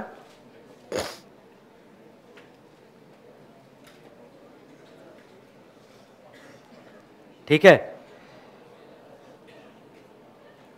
अब देखो बेटा ये एग्जाम्पल जो मैंने लिया गुड्स का लिया कि मैन्युफैक्चरर ने गुड्स बेचा किसको डिस्ट्रीब्यूटर को और डिस्ट्रीब्यूटर ने गुड्स बेचा किसको होलसेलर को अब आपका ट्रांजैक्शन गुड्स का हो या सर्विसेज का ओके okay, आपका ट्रांजैक्शन गुड्स का हो या ओके सर्विसेज का दूसरा ट्रांजेक्शन लेता हूँ सर्विसेज का समझ लो okay faculties okay V Smart को सर्विस दे रही है और वी स्मार्ट आपको सर्विसेज दे रहा है अरे आया ना तो आपको जो इन्वाइस मिला वो फैकल्टीज का नहीं मिला आपको जो इन्वाइस मिला वो वी स्मार्ट का मिला है कुछ समझ में आया आपको तो अब देखो फैकल्टीज जब बिल देगी बेटा तो यहाँ पे अज्यूम करो वैल्यू वैल्यू जो है यहाँ पे वन लैख तो बता आज सर्विस सर्विसेज पे सर्विस टैक्स है या जीएसटी ही है और वो जीएसटी ड्यूएल मॉडल में है ड्यूएल मॉडल में मतलब सी और एस टी तो नौ यहां पे okay C at the rate क्या बेटा नाइन परसेंट और S G S T at the rate nine percent okay C G S T at the rate nine percent कितना आ रहा है यहां पे nine thousand nine thousand okay nine thousand और अगर आपको सर्विस दिया जा रहा है और ये वैल्यू जो है एक लाख पचास हजार है जो आपको सर्विस दी जा रही है तो अगेन उसके ऊपर क्या लगेगा C G S T at the rate nine percent और S G S T at the rate क्या बेटा नाइन परसेंट कितना आ रहा है one one lakh fifty thousand का नाइन परसेंट नाइन परसेंट हा थर्टीन थाउजेंड फाइव हंड्रेड और thirteen thousand five hundred okay ये आपका सी जी एस टी और एस जी एस टी ये पेज पे मैंने दो एग्जाम्पल लिए और पूरी चेन बताई मेरा ऑब्जेक्ट क्या आप तक कौन सा मैसेज मैं पहुंचा रहा हूँ आप तक मैं ये मैसेज पहुंचा रहा हूँ कि ट्रांजेक्शन अब गुड्स का हो या सर्विस का ट्रांजेक्शन मैन्युफैक्चरर होलसेलर के बीच में हो होलसेलर डिस्ट्रीब्यूटर के बीच में हो डिस्ट्रीब्यूटर रिटेलर के बीच में हो किसी भी कोई भी मार्केट में ट्रांजेक्शन हो आई रिपीट क्या कोई भी मार्केट में ट्रांजेक्शन हो गुड्स का हो या सर्विस का हो गुड्स में होलसेल मार्केट हो डिस्ट्रीब्यूटर मार्केट हो मैन्युफैक्चर मार्केट हो कोई भी मार्केट हो रिटेल मार्केट हो अब एक ही टैक्स लगेगा वन नेशन वन टैक्स और वो क्या होगा जीएसटी अब देखो ये कैसा जीएसटी ड्यूअल मॉडल में आया बेटा तो ये वन नेशन वन टैक्स ने जब एडवर्टाइजमेंट की गई जुलाई में मुझे याद है कि जुलाई में फर्स्ट जुलाई से दस जुलाई तक हेवी एडवर्टाइजमेंट किया गया था वन नेशन वन टैक्स का तो मुझे याद है फोर्थ जुलाई की बात है मैं एक रेस्टोरेंट में बैठा था ओके तो रेस्टोरेंट में हम खाना खा रहे थे तो मैंने देखा कुछ झगड़ा चालू है वेटर का और बाजू में एक लेडी बैठी थी तो उसका झगड़ा चालू है वेटर के साथ तो मेरा जस्ट ध्यान गया तो नालायक को गलत सोचे हाँ तो ऐसे सिचुएशन में यहाँ पे मेरा जस्ट ध्यान गया तो मैंने कहा कि किस बात का झगड़ा चालू है ना शी सेड कि वो वेटर को कह रही थी कि आपने दो टैक्स कैसे लगाए ओके सी और S G S T now यहां तो गवर्नमेंट कह रही है मोदी जी कह रहे हैं one nation one tax GST एक ही लगना है आपने तो दो लगा दिए दो कौन से फॉर्म में सी और अच्छा आप पढ़ रहे हो मेरे से इसलिए आपको बताया वो लेमैन को क्या पता वो तो टीवी पे एड देखता है सिर्फ कि एक ही जीएसटी लगने वाला है ओके ये दो जीएसटी लगा रहा है दो जीएसटी लग रहा है तो एक्स्ट्रा कलेक्ट कर रहा है कुछ तो फ्रॉड हो रहा है तो जस्ट मैं गया कि मैंने कहा एक्सक्यूज मी तो उसने कहा आप कौन मैं चार्टर्ड अकाउंटेंट हूं और जैसे ये जो इन्होंने जो दो टैक्सेस आपको लगाया कौन से दो taxes C G S T और एस जी एस टी ये सही है तो उन्होंने कहा कैसे सही है मैंने कहा टैक्स एक ही है पर ये दो पार्ट में डिवाइड हुआ है कौन से दो पार्ट में सेंट्रल एंड स्टेट में इसलिए वन नेशन वन टैक्स को इतना लिटरली मत लेना कि एक ही टैक्स तो इन सिंपल वर्ड यहां पे गुड्स हो या सर्विसेस हो कोई भी मार्केट हो सी जीएसटी और एस लगेगा अब मैं अपना पुराना वाला एग्जाम्पल आपके सामने रखता हूँ ओके और मुझे ये बताओ अब ध्यान से देखना पुराने वाला एग्जाम्पल हम देख रहे थे इससे कुछ बातें आपकी डेवलप होगी जो मुझे बहुत ज़रूरी है आगे जीएसटी समझने के लिए ये पूरा हम बेस तैयार कर रहे हैं जीएसटी समझने के लिए और जीएसटी आपका रियली बहुत इंटरेस्टिंग हो जाएगा ठीक है अब यहां मुझे बताओ एक मैन्युफैक्चरिंग सेक्टर है कमॉन कमॉन क्या मैनी ये पहले पहले कितने टैक्सेस देता था जीएसटी आने के पहले तीन कौन से एक मिनट एक्साइज एक्साइज किसका रेवेन्यू था स्टेप बाय स्टेप जाते एक्साइज किसका रेवेन्यू था सेंट्रल का ठीक है फिर दूसरा टैक्स कौन सा देता था वैट वैट किसका रेवेन्यू था रुक जाए एक मिनट क्या वैट लगाने के लिए एक्साइज ऐड होता था क्या डबल टैक्सेशन होता था अरे आया ना डबल टैक्सेशन होता था ना इसको हम कहते थे कैस्केडिंग इफेक्ट एक मिनट इंटरेस्ट के केस में हम कंपाउंडिंग वर्ड यूज करते और जहां जब डबल टैक्सेस लगते थे उसको वर्ड यूज करते हैं कैस्केडिंग एक नया वर्ड आपके डिक्शनरी में क्या बेटा कैस्केडिंग डिड यू अंडरस्टैंड तो अब टैक्स पे टैक्स टैक्स पे टैक्स लगता था अब मुझे ये बताओ आज भी रेवेन्यू सेंट्रल और स्टेट को ही जाने वाला है पर मुझे बताओ आज के केस में अगर यही एग्जाम्पल को एक मैन्युफैक्चरर बेच रहा है माल मैन्युफैक्चर करके बेच रहा है तो क्या उसके ऊपर एक्साइज लगेगा वैट लगेगा या सिर्फ दो ही टैक्सेस लगेंगे एक्चुअली दो बोलने के लिए एक ही लगेगा कौन सा एक लगेगा जीएसटी और वो स्प्लिट होगा लगेगा एक ही टैक्स पर वो स्प्लिट होगा तो मुझे बताओ आज के केस में ये एग्जाम्पल कैसा रहेगा एग्जाम्पल वन लैख सी और क्या एस जीएसटी कितना नाइन परसेंट और एस अब मैं आपसे जस्ट जस्ट एक सवाल पूछना चाहूँ ये नाइन परसेंट सीजीएसटी कितने वैल्यू पे लगेगा एक लाख अरे है ना तो कितना हुआ नाइन थाउजेंड ये बात समझ में आई और S G S T nine percent तो S G S T nine percent ये C G S T add करके लगेगा या ये भी वैल्यू पे ही लगेगा क्योंकि है टैक्स एक ही कम ऑन है टैक्स एक ही मतलब ये भी कितना लगेगा नाइन थाउजेंड यानी पुराने सिस्टम में और नए सिस्टम में क्या डिफरेंस है पुराने सिस्टम में प्रोडक्ट की प्राइजेस बढ़ जाती थी कैसे प्राइजेस बढ़ती थी पुराने सिस्टम में कि वैट निकालने के लिए साइज ऐड होता था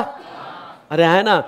अब वो एडिशन वगैरह नहीं होगा ओके नहीं होगा तो दोनों क्या बेस प्राइस पे लग रहा है हाँ अगर दोनों बेस प्राइस पे लग रहे हैं तो कैस्केडिंग इफेक्ट ही खत्म हो गया तो क्या जीएसटी ने प्रोडक्ट की प्राइजेस कम कर दी हा हा जीएसटी ने प्रोडक्ट की प्राइजेस कम कर दिया डिड यू अंडरस्टैंड क्यों क्योंकि डबल टैक्सेशन खत्म किया टैक्स का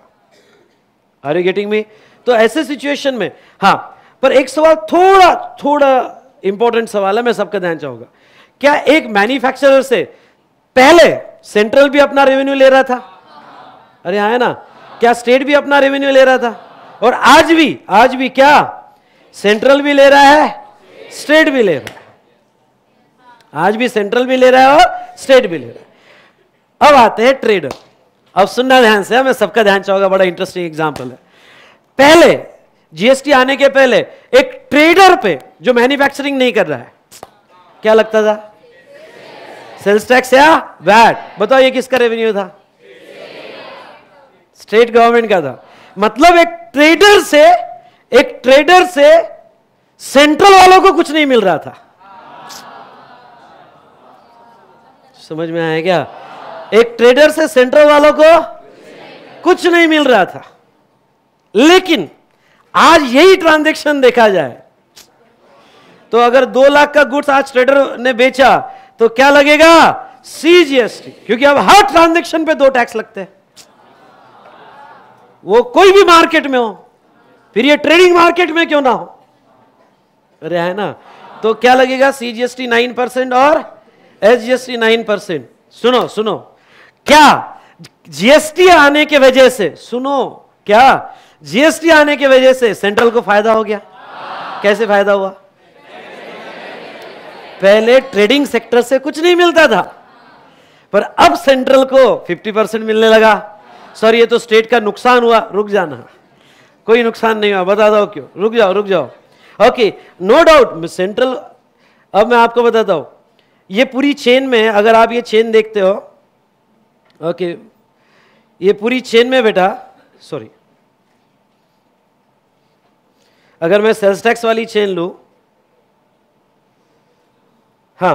ये वाली मैं चेन लू मैन्युफैक्चरर से डिस्ट्रीब्यूटर डिस्ट्रीब्यूटर से क्या होलसेलर होलसेलर से रिटेलर रिटेलर से अल्टीमेट कंज्यूमर ये पूरी चेन में मैं बताता हूं पह, पहले सेल पे जब मैन्युफैक्चरर से गुड्स निकलता था तो एक्साइज भी लगता था और सेल्स टैक्स मैंने एक्साइज नहीं लिया हमारे एग्जाम्पल में अरे है ना पर मैन्युफैक्चर बेचता है तो एक्साइज और सेल्स टैक्स तो एक्साइज किसका रेवेन्यू था सेंट्रल का सेल्स टैक्स किसका रेवेन्यू था स्टेट का और उसके आगे कोई एक्साइज नहीं दे रहा है ना डिस्ट्रीब्यूटर दे रहा है ना होलसेलर दे रहा है ना रिटेलर दे रहा है बताओ तो क्यों नहीं दे रहा है वो एक्साइज क्योंकि एक्साइज मैन्युफैक्चरिंग पे था और मैन्युफैक्चरिंग इवेंट को किसी ने टच ही नहीं किया था सिर्फ सेल कर रहे थे वो इसका मतलब ये हो रहा था कि सेंट्रल गवर्नमेंट ध्यान से सुनना मेरी बात बहुत चीजें आपको सिखाएगी मेरी बात जो मैं कहने वाला हूं सेंट्रल गवर्नमेंट पहले ओनली फर्स्ट स्टेज पे ही टैक्स कलेक्ट कर पा रहे थे यानी उसके बाद की जितनी भी स्टेजेस है कमॉन उसके बाद की क्या जितनी भी स्टेजेस है और सेल प्राइस बढ़ते जा रही है तो जो सेल प्राइस बढ़ते जा रही है उसके ऊपर सेंट्रल गवर्नमेंट को कुछ नहीं मिल रहा था सिर्फ कौन कमा रही थी स्टेट मेरी बात समझ में आए लेकिन आज आज अगर एक ट्रेडर बेचता है तो ट्रेडर बेचता है तो दोनों टैक्स लगते हैं कौन से दोनों टैक्स लगते हैं बेटा सीजीएसटी और एसजीएसटी ये वाला एग्जांपल थोड़ा मैं बाद में लूंगा ठीक है लेकिन मैं आपको एक लाना चाहता हूँ ये वाले एग्जाम्पल पे सर्विस टैक्स एक मिनट अब मैं सर्विस टैक्स में ये भी मेजर रेवेन्यू था तीन मेजर रेवेन्यू थे बाकी छोटे छोटे रेवेन्यू थे कौन से तीन मेजर रेवेन्यू थे एक्साइज वैट एंड क्या सर्विस टैक्स ये तीन मेजर रेवेन्यू थे बाकी छोटे बड़े थे ठीक है मैं सर्विस टैक्स पे आपका ध्यान लाना चाहूंगा पहले बताओ सर्विस टैक्स स्टेट का था या सेंट्रल का था पूरा रेवेन्यू सेंट्रल का था और जीएसटी आने के पहले 80,000 करोड़ का रेवेन्यू सर्विस टैक्स से था गवर्नमेंट का और पूरा सेंट्रल ले रही थी कुछ बात समझ में आया क्या लेकिन जीएसटी आने के बाद सर्विस ट्रांजेक्शन भी दो इसमें डिवाइड हो गए क्या बेटा सी और एस जीएसटी जो पहले स्टेट गवर्नमेंट को रेवेन्यू नहीं मिल रहा था जो पहले क्या स्टेट गवर्नमेंट को नहीं मिल रहा था तो अब स्टेट गवर्नमेंट को मिलने लगा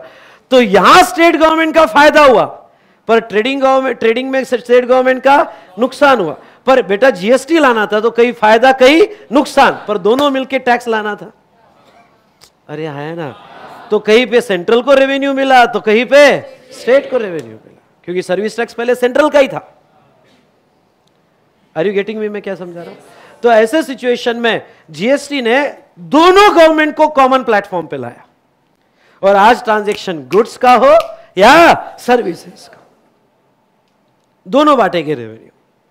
सीजीएसटी और एसजीएसटी अब देखिए आ जाओ यहां डिस्कशन पे ठीक है एक एग्जाम्पल ले रहा हूं बेटा नेक्स्ट पेज पे आ जाओ एग्जाम्पल नंबर फोर ये इतना सिंपल एग्जाम्पल जब पहली बार जीएसटी में हाँ वही वही वही on page number I think fourteen हाँ एग्जाम्पल नंबर फोर ओके ये एग्जाम्पल एग्जाम में पूछा गया था जब जीएसटी पहली बार सिलेबस में आया सीए इंटर के अब एग्जाम्पल देखो क्या था Mister Suresh of Rajasthan supplied goods और सर्विसेज ऑफ रुपीज क्या twenty thousand to Mister Ramesh पहले बताओ सप्लायर कौन है और रिसिपियंट कौन है रमेश ओके ऑफ राजस्थान क्या दोनों राजस्थान में है क्या ये इंटरस्टेट है या इंट्रास्टेट है इंटर है या इंट्रा है इंट्रा है इंट्रा है तो राजस्थान में ही है दोनों अब राजस्थान में है तो क्या लगेगा सीजीएसटी और एसजीएसटी तो देखो SGST and CGST rates the supply of goods और services is nine 9% each find the following total price charge by Mister C लिखो नीचे कैलकुलेशन ऑफ नीचे लिखो calculation of total price charge by Mister C calculation of total price charge by Mister C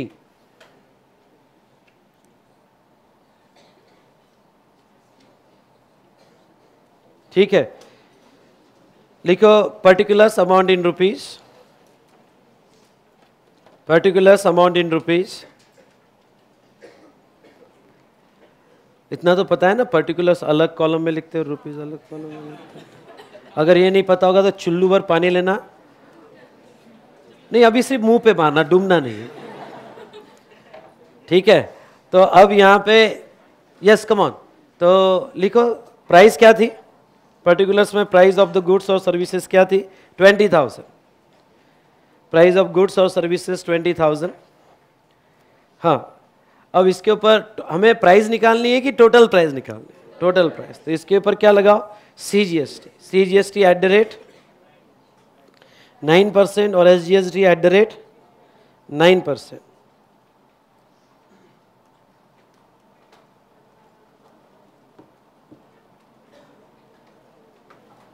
ठीक है कितना आ रही है आपके total price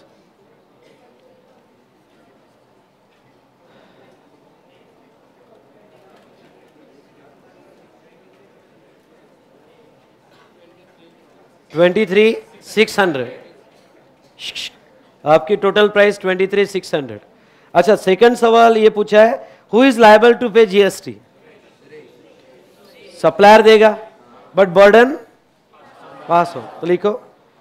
in given case Mister Suresh is supplier in given case Mister Suresh is supplier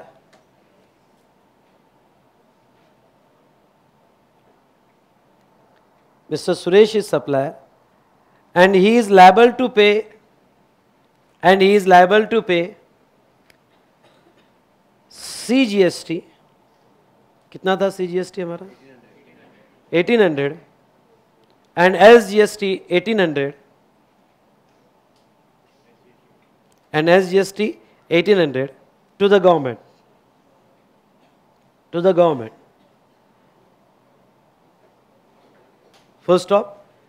he can transfer such burden of tax he can transfer such burden of tax बताओ बेटा किसको ट्रांसफर करेगा to recipient that is Mister Ramesh to recipient that is Mister Ramesh ठीक है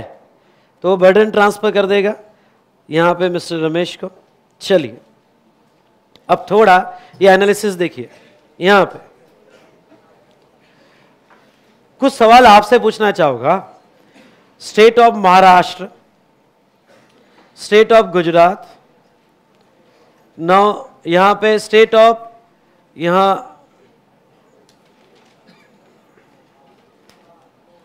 MP और last यहाँ पे कोई स्टेट लेते हैं जो अंदमान एंड निकोबा नहीं बेटा गोवा बाद में जाएगा आप तो अब स्टेट ये स्टेट में सप्लायर और रिसिपियन सुनना ध्यान से ये स्टेट में सप्लायर और रिसिपियन प्लीज प्लीज प्लीज ये स्टेट में दोनों सप्लायर और रिसिपियंट और अंडमान निकोबार में सप्लायर एंड क्या रिसिपियर नाउ सेम स्टेट में ट्रांजेक्शन हो रहे हैं मुझे बताओ सेम स्टेट में ट्रांजेक्शन होते हैं तो उसे क्या कहते हैं इंट्रास्टेट वो गुड्स के हो या सर्विसेज के ओके तो इसे हम कहते हैं इंट्रास्टेट ये भी इंट्रास्टेट हुआ ये भी इंट्रास्टेट हुआ ठीक है पूरा ये एनालिसिस ध्यान से और अच्छे से समझना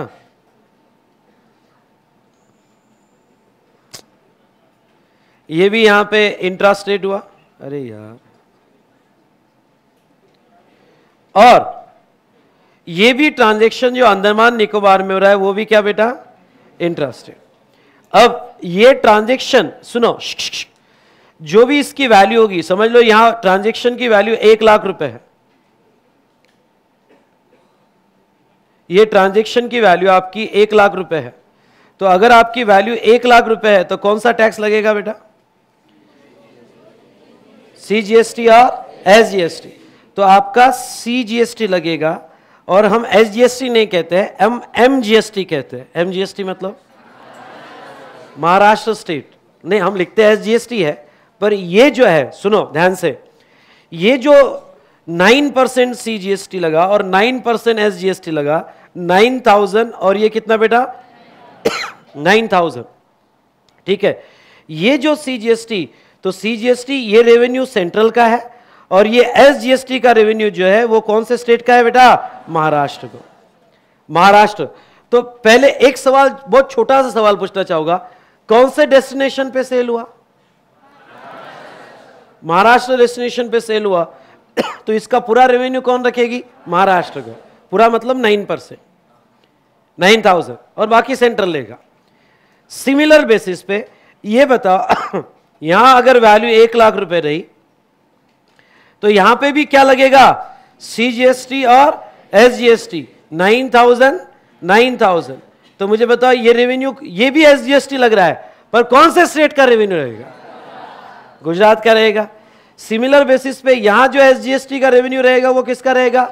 एमपी का रहेगा अरे है ना अब मेरा सवाल आपसे क्या है मेरा सवाल आपसे यह है कि अगर सेल अंदमान निकोबार में हो रहा है और वो within within territory हो रहा है अंडमान निकोबार यूटी है यूनियन टेरिटरी है तो एक लाख का सेल हो रहा है within union territory CGST तो लगना ही है एक मिनट एक मिनट सीजीएसटी तो लगना है क्या रेट से नाइन परसेंट अब ये स्टेट में जब बिल बनाए जा रहे हैं तो बताओ एसजीएसटी लिखेंगे या यूटीजीएसटी लिखेंगे अब एसजीएसटी के जगह पे क्या लिखा जाएगा यूटीजीएसटी क्योंकि वो यूटी में ट्रांजेक्शन हो रहे हैं तो यहां एस जी वर्ड नहीं यूज होता है यहां पे कौन सा वर्ड यूज होता है यूटीजीएसटी टी और ये यूटीजीएसटी टी कितना नाइन परसेंट ओके तो ये नौ हजार रुपए और ये नौ हजार रुपए तो मुझे ये बताइए कि ये यू टी का रेवेन्यू किसका रहेगा अंडमान निकोबार यूनियन टेरेटरी का रहेगा तो बेटा ध्यान रहे एस और यूटीजीएसटी टी ऐसे दो नहीं लगते हैं जहां स्टेट है वहां एस लगता है और जहां यूनियन टेरेटरी है वहां पे यूटीजीएसटी लगता है are you getting me yes और नो चलिए अब मैं आपसे एक सवाल पूछना चाहूंगा देखता हूं आपका लॉजिक कितना डेवलप हुआ और सवाल यह है बेटा यहां पे कि अगर ये सप्लायर ने गुजरात के किसी बायर को गुड्स बेचा या सर्विसेज दिया सुनो सुनो सुनो ये सब ये सप्लायर ने गुजरात के किसी बायर को अगर गुड्स दिया तो मुझे बताओ ये इंट्रा स्टेट है या इंटर स्टेट है ये ट्रांजेक्शन क्या हुआ इंटरेस्ट अब दूसरा सवाल एक मिनट दूसरा सवाल जब ट्रांजेक्शन इंटरेस्ट रेट हो रहा है तो क्या आज हम सिर्फ गुड्स के इंटरेस्ट रेट लेंगे या गुड्स और सर्विसेज दोनों के इंटरेस्ट रेट लेंगे क्या कहा मैंने दोनों के मतलब क्या डिफरेंस क्या हुआ बताता हूं पहले की सिस्टम में और अभी के सिस्टम में पहले इंट्रा और इंटर में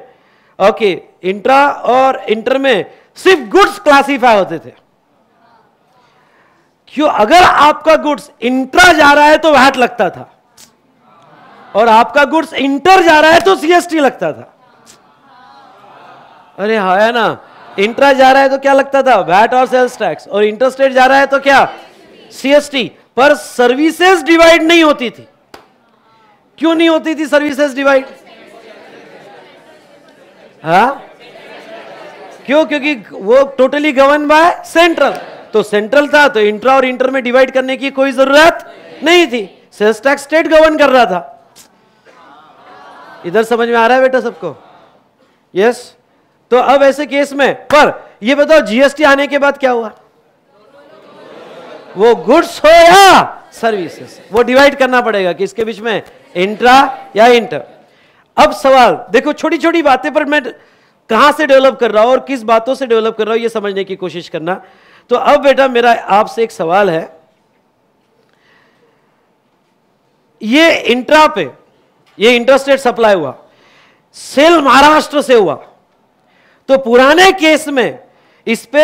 महाराष्ट्र सेल्स टैक्स नहीं लगाते थे इस पे क्या लगाते थे सेंट्रल सेल्स टैक्स अरे है ना लेकिन अब जीएसटी आने के बाद ये जो ट्रांजेक्शन पे है ये ट्रांजेक्शन को कैसे हैंडल करें क्यों क्योंकि ये transaction with in same state नहीं है from one state to another state तो नाउ हमारी गवर्नमेंट ने एक नाम ढूंढ के लाया और वो नाम ढूंढ के लाया आईजीएसटी ओके अब आईजीएसटी मतलब इंटरस्टेट जीएसटी नहीं आईजीएसटी मतलब इंटरस्टेट जीएसटी नहीं आईजीएसटी मतलब क्या integrated GST I repeat the word क्या इंटीग्रेटेड जीएसटी मतलब अगर आपका ट्रांजेक्शन किसके बीच में होगा दो स्टेट के बीच में तो क्या लगेगा आई जी समझ लो ये वैल्यू एक लाख की है कितनी है एक लाख की वैल्यू है तो क्या लगाएंगे आए अच्छा आईजीएसटी को स्प्लिट कैसे करेंगे central IGST and state IGST ऐसा फिर तो वही गड़बड़ हो जाएगी कौन सा स्टेट लेगा अरे है ना महाराष्ट्र लेगा या गुजरात तो अब डिसीजन क्या लिया गया ध्यान से सुनना डिसीजन ये लिया गया कि आईजीएसटी स्प्लिट नहीं होगा ए, मैंने क्या कहा आईजीएसटी स्प्लिट नहीं होगा आईजीएसटी फुल रेट से लगेगा अरे क्योंकि स्प्लिट कैसे होगा फिर तो झगड़ा वही हुआ दोनों स्टेट का अरे समझ में आया क्या तो आईजीएसटी फुल रेट पे चलेगा फुल रेट मतलब अगर जीएसटी रेट 18 परसेंट है तो 99 में स्प्लिट होगा या 18 पे चलेगा 18. तो वो इनवाइस में एक ही जीएसटी दिखेगा जिसका नाम होगा आईजीएसटी और आईजीएसटी फुल रेट पे चलेगा डिड यू अंडरस्टैंड ये स्प्लिट नहीं होगा चलो ये डिसीजन ले लिया गया कि आई जब भी इंटरेस्टेड होगा एक बार फिर से स्टेप बाय स्टेप बताओ इंटरेस्टेड होगा तो सीजीएसटी एसजीएसटी लगेंगे या आईजीएसटी लगेगा आईजीएसटी मतलब इंटरस्टेट जीएसटी कौन है नालायक किसने कहा ये तो डूब मरे पानी लेके ओके आई जीएसटी मतलब इंटरस्टेट जीएसटी या इंटीग्रेटेड जीएसटी इंटीग्रेटेड जीएसटी अरे है ना अब दूसरी बात आई जीएसटी को स्प्लिट करना पॉसिबल था क्या नहीं क्योंकि भी अगर स्प्लिट करते तो कौन सा स्टेट का रहता तो आई जीएसटी एक ही रेट से चलेगा जो फुल रेट पे चलेगा फुल रेट मतलब जो भी जीएसटी का फुल रेट है वो स्प्लिट नहीं किया जाएगा 18 परसेंट होगा तो पूरा 18 परसेंट आई लगेगा अब मेरा आपसे सवाल है ये आईजीएसटी का कलेक्शन कौन सी गवर्नमेंट ने करना चाहिए महाराष्ट्र गवर्नमेंट ने या सेंट्रल ने नहीं नहीं नहीं रेवेन्यू कैसे डिवाइड होगा वो नेक्स्ट स्टेप ओके रेवेन्यू कैसे डिवाइड होगा वो नेक्स्ट स्टेप अरे है ना पहले कलेक्शन क्योंकि ये तो सिंगल रेट से लग रहा है ये तो डिवाइड नहीं हो रहा है तो ये सिंगल रेट का कलेक्शन किसने करना चाहिए करेक्ट आईजीएसटी का कलेक्शन सेंट्रल करेगी आई रिपीट आईजीएसटी का कलेक्शन स्टेप बाय स्टेप चलना तो पूरा कलेक्शन सेंट्रल करेगी फिर दूसरा सवाल सर सेंट्रल ने तो कलेक्शन कर लिया पूरा का पूरा क्या वो स्टेट को बांटेगी हाँ हाँ क्योंकि जीएसटी कमिटी ने डिसाइड किया था कि स्टेट को बांटेगी अदरवाइज स्टेट वाले फिर यहां पे नाराज हो जाते क्योंकि पहले CST even the policy central की बनती थी पर रेवेन्यू स्टेट का था सीएसटी का रेवेन्यू किसका था स्टेट का था पॉलिसी सेंट्रल से बनती थी तो अभी भी रेवेन्यू कैसे छोड़ेंगे स्टेट अपना रेवेन्यू नहीं छोड़ेगा इंटरस्टेट के केस में तो अब अब वो आईजीएसटी बांटा जाएगा ये समझ में आया कि नहीं आया अब ध्यान से सुनना अब मैं डिस्कशन को और थोड़ा डेवलप कर रहा हूं समझ लो दो स्टेट है एक है कौन सा महाराष्ट्र दूसरा कौन सा स्टेट है गुजरात तो ऐसे केस में महाराष्ट्र से सप्लायर गुड्स दे रहा है रिसिपियंट कहां का है गुजरात का सेल हो रहा है वैल्यू कितनी है एक लाख अगर वैल्यू है ध्यान से सुनना और उसके ऊपर कौन सा टैक्स लगेगा आईजीएसटी क्यों क्यों IGST IGST at the rate क्या 18 परसेंट कितना 18,000 बेटा सबको समझ में आ रहा है स्पीड ज़्यादा तो नहीं हो रही है क्योंकि इससे कम स्पीड में मैं भी नहीं पढ़ा सकता ठीक है तो सबको नॉर्मल है ठीक है तो अब एटीन 18,000 है अच्छा 18,000 का कलेक्शन कौन सी गवर्नमेंट ले लेगी पहले सेंट्रल सेंट्रल गवर्नमेंट पैसा ले लेगी 18,000 का यस और नो लेकिन ये 18,000 दो इसमें डिवाइड हो गया ओके सेंट्रल गवर्नमेंट डिवाइड करेगी 18,000 को कलेक्ट होने के बाद ओके इसका 50 परसेंट सेंट्रल लेगी और 50 परसेंट स्टेट को दिया जाएगा पर ये कलेक्ट होने के बाद ओके देखो दोनों में क्या फर्क है इंट्रा में अभी के अभी डिवाइड करो तो इंटरस्टेट में अभी क्या अभी नहीं कलेक्शन पहले सेंट्रल करेगी और बाद में क्या तो अभी अभी मैंने तो आपको दिया था महाराष्ट्र गवर्नमेंट का पिछले छह महीने का जीएसटी का पैसा आना बाकी है कौन सा जीएसटी का पैसा आना पाते हुए थे आईजीएसटी क्योंकि एसजीएसटी तो तब के तब डिवाइड हो गया आईजीएसटी का पचास टका आना बाकी है किससे सेंट्रल से क्योंकि कल किसने किया था सेंट्रल अरे ये सर नो अब देखो पचास टका सेंट्रल लेगी और पचास टका स्टेट को देगी अब लास्ट सवाल आपसे इसमें दो स्टेट इन्वॉल्व है इसमें दो स्टेट इन्वॉल्व है तो मुझे यह बताओ कि ये पचास टका जो देना है वो कौन से स्टेट को दिया जाएगा महाराष्ट्र या गुजरात महाराष्ट्र गलत गुजरात ओके महाराष्ट्र गलत किसको दिया जाएगा गुजरात क्या सर लास्ट सेशन में तो आपने ये बोला था हमें okay, कि सीएसटी का रेवेन्यू सेलर स्टेट का है हाँ मैंने वो भी गलत नहीं बोला था क्योंकि वो सीएसटी था अरे है ना वो सीएसटी था ये क्या जीएसटी है और जीएसटी में ये डिसाइड हुआ कमॉन कमॉन कमॉन मैं जो कह रहा हूं ध्यान से सुनना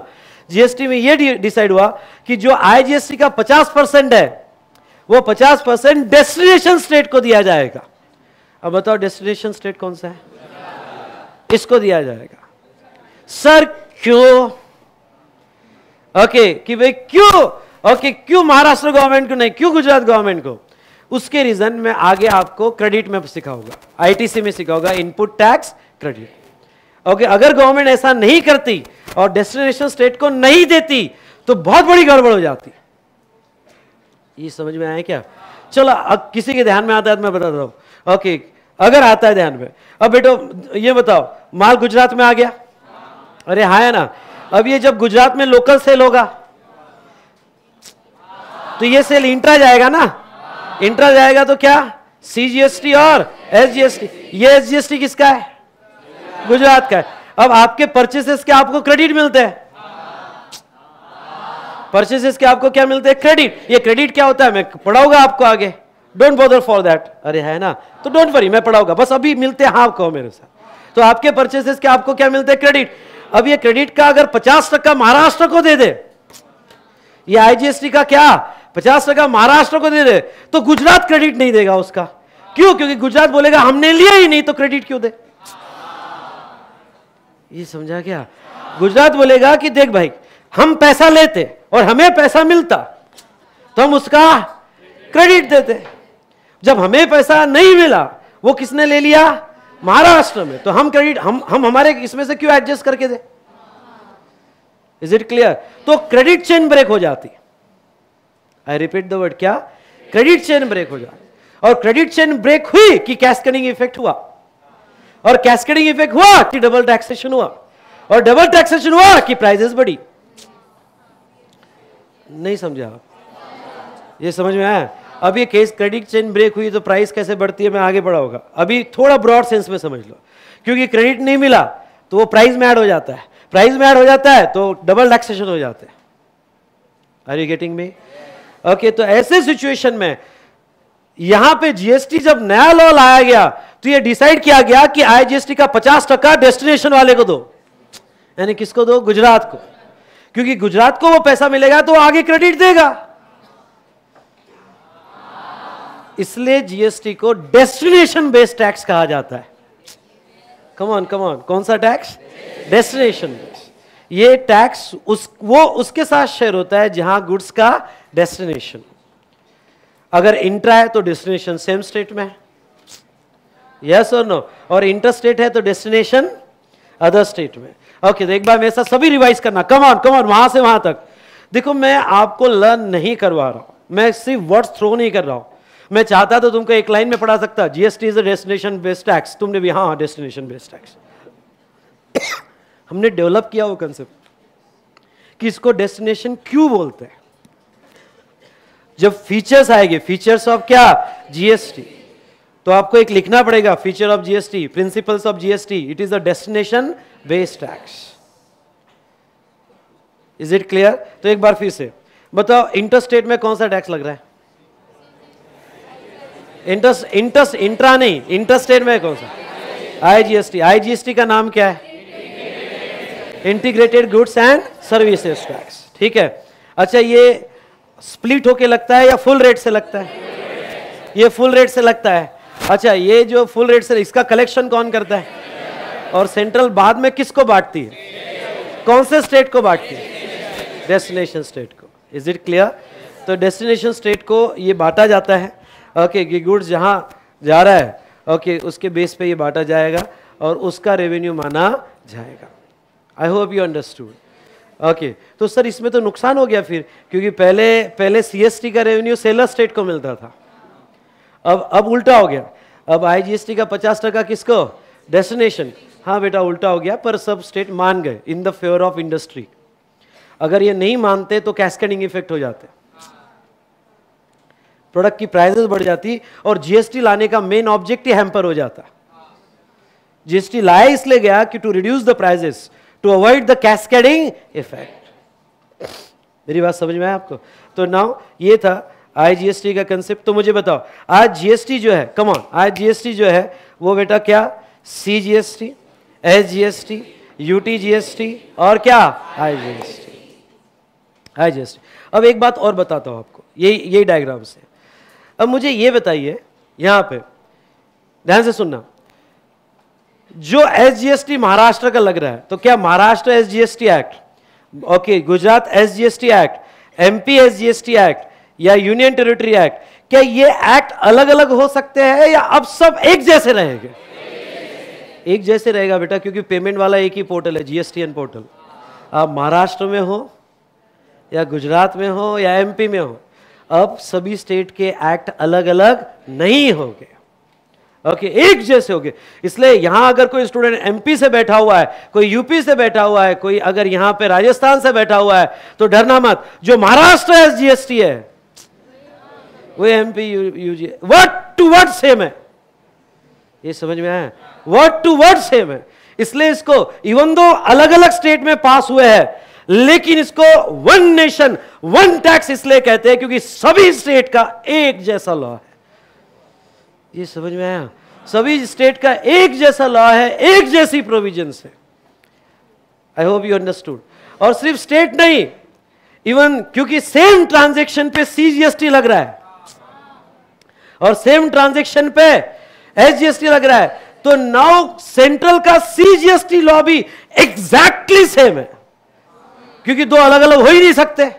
ऐसा तो कभी नहीं, नहीं हो सकता कि भाई सी टी जो है वो एग्जाम और एस जीएसटी टैक्सेबल ऐसा हो ही नहीं सकता अरे आया समझ में आया तो ऐसा कभी नहीं इसलिए सभी स्टेट के S GST law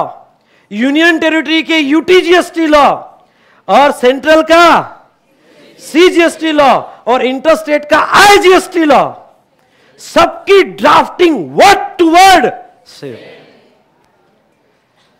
ये समझ में आया इसलिए इसको कहते हैं वन नेशन वन मार्ग वन नेशन हमको सिलेबस में सीजीएसटी और आईजीएसटी ही है सॉरी तुमको तो सिर्फ सीजीएसटी है फाइनल लेवल पे आईजीएसटी एक्ट है ओके uh, पर मैं आपको इतना ही कहूंगा कि एग्जैक्टली सेम है सीजीएसटी और SGST word to word same है सभी स्टेट्स के सभी यूनियन टेरिटरीज के डिड यू अंडरस्टैंड तो जो यहाँ पे अगर कोई स्टूडेंट सीएमए कर रहा होगा एस कर रहा होगा तो उनके सिलेबस में यूटी जीएसटी भी है सी एस जीएसटी के कुछ पाँच दस पेजेस है पर डरना मत ओके क्योंकि अगर आपने सी टी पढ़ लिया मतलब आपका ऑटोमेटिक क्या एस टी और यूटी हो गया समझ लो डिड यू अंडरस्टैंड ओके तो नाउ ये था बेटा one nation one tax and one market okay चलिए यहाँ पे नेक्स्ट और अब आपको एक बात और बता दू आईजीएसटी इंडिया का यूनिक फीचर है मतलब जो भी जितने भी कंट्रीज में जीएसटी लॉ है कहीं पे आईजीएसटी नहीं है इंडिया ने खुद ने ढूंढ के निकाला है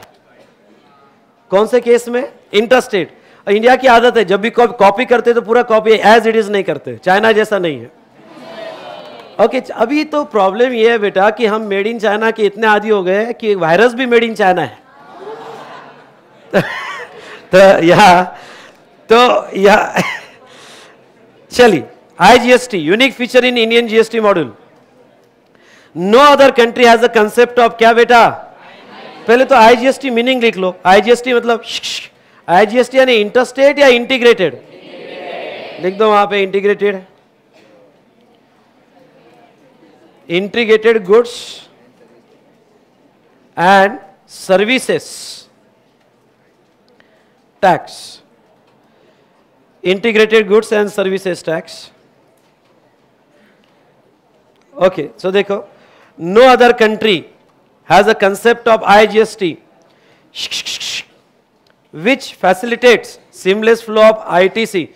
which facilitate seamless flow of I T C मतलब okay I G S T में पचास टका स्टेट को दे दिया है कौन से स्टेट को दे दिया है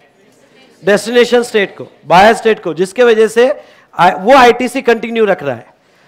आईटीसी मतलब इनपुट टैक्स क्रेडिट ये मैं आगे पढ़ाऊंगा और अच्छे से पढ़ाऊंगा okay for all supplies flowing in and around the territory of India okay ये बताओ आईजीएसटी किसके ऊपर लगता है interstate supplies of taxable goods और services will be subject to integrated goods and service tax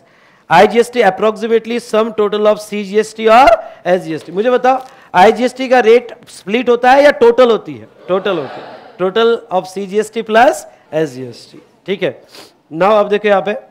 intra state supply of goods और intra state supply of क्या services now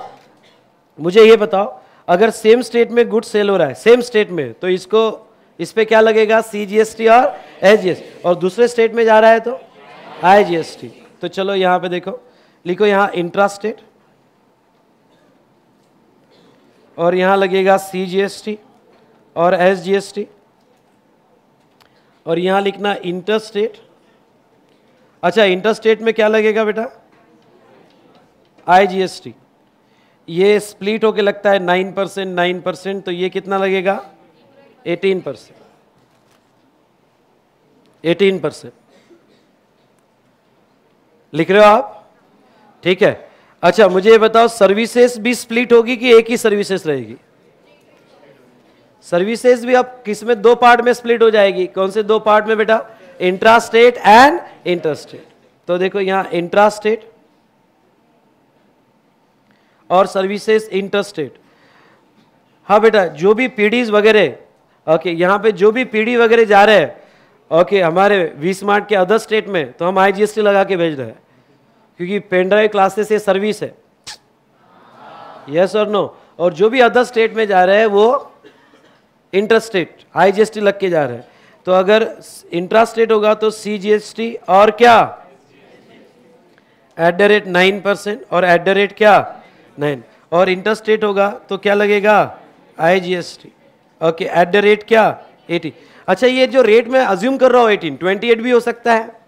five भी हो सकता है या ट्वेल्व भी हो सकता है ये समझ में आया आपको तो ये था तो एक बार फिर से हो जाए अब मैं आपसे एक सवाल पूछना चाहूंगा एक सवाल पूछना चाहूंगा एमपी से ये सप्लायर ने एमपी से अंडमान निकोबार गुड्स बेचा ओके कहां से बेचा एमपी से अंडमान निकोबार तो मुझे बताओ ये ट्रांजेक्शन को क्या बोला जाएगा पहला ऑप्शन इंटर यूटी अच्छा इंटर यूटी भी नहीं बोल सकते क्योंकि दोनों यूटी नहीं है तो अच्छा दूसरा ऑप्शन इंटरस्टेट यूटी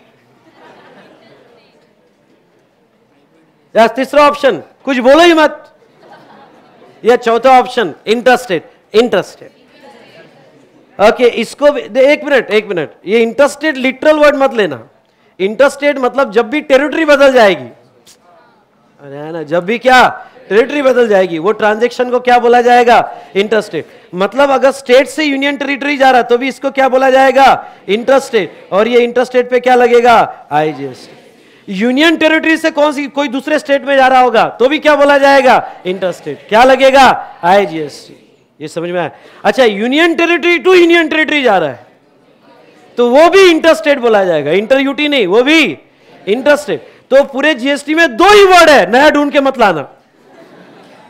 पूरे जीएसटी में दो ही वर्ड्स है बताओ कौन से दो वर्ड्स है इंट्रास्टेट इंटरस्टेट तो एक बार मेरे साथ हो जाए ओके इंटरस्टेट कब कब बोला जाएगा वेन ट्रांसफर बिटवीन क्या one state to another state second one state to another union territory third union territory to state और fourth union territory to union territory अरे आए ना तो जब भी टेरिटरी बदलेगी वो ट्रांजेक्शन इंटरस्टेट ही बोला जाएगा are you getting me okay अब थोड़ा आप ध्यान से सुनना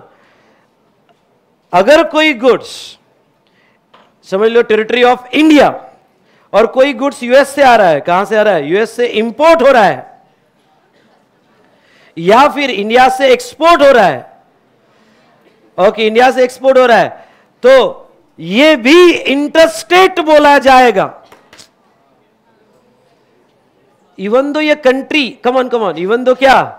कंट्री में पर इसको भी क्या बोला जाएगा इंटरस्टेट यानी अगर आपने इंपोर्ट किया तो इस पर क्या इंटरस्टेट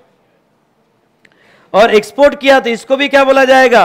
इंटरस्टेट तो हमारे हमारे लिस्ट में हम दो ऐड और कर देते हैं ओके क्यों मैं रीजन बताता दो पहले समझ लो और दो ऐड कर देते हैं बताओ कौन से तो पहले एक बार फिर से इंटरेस्ट कब कब बोला जाएगा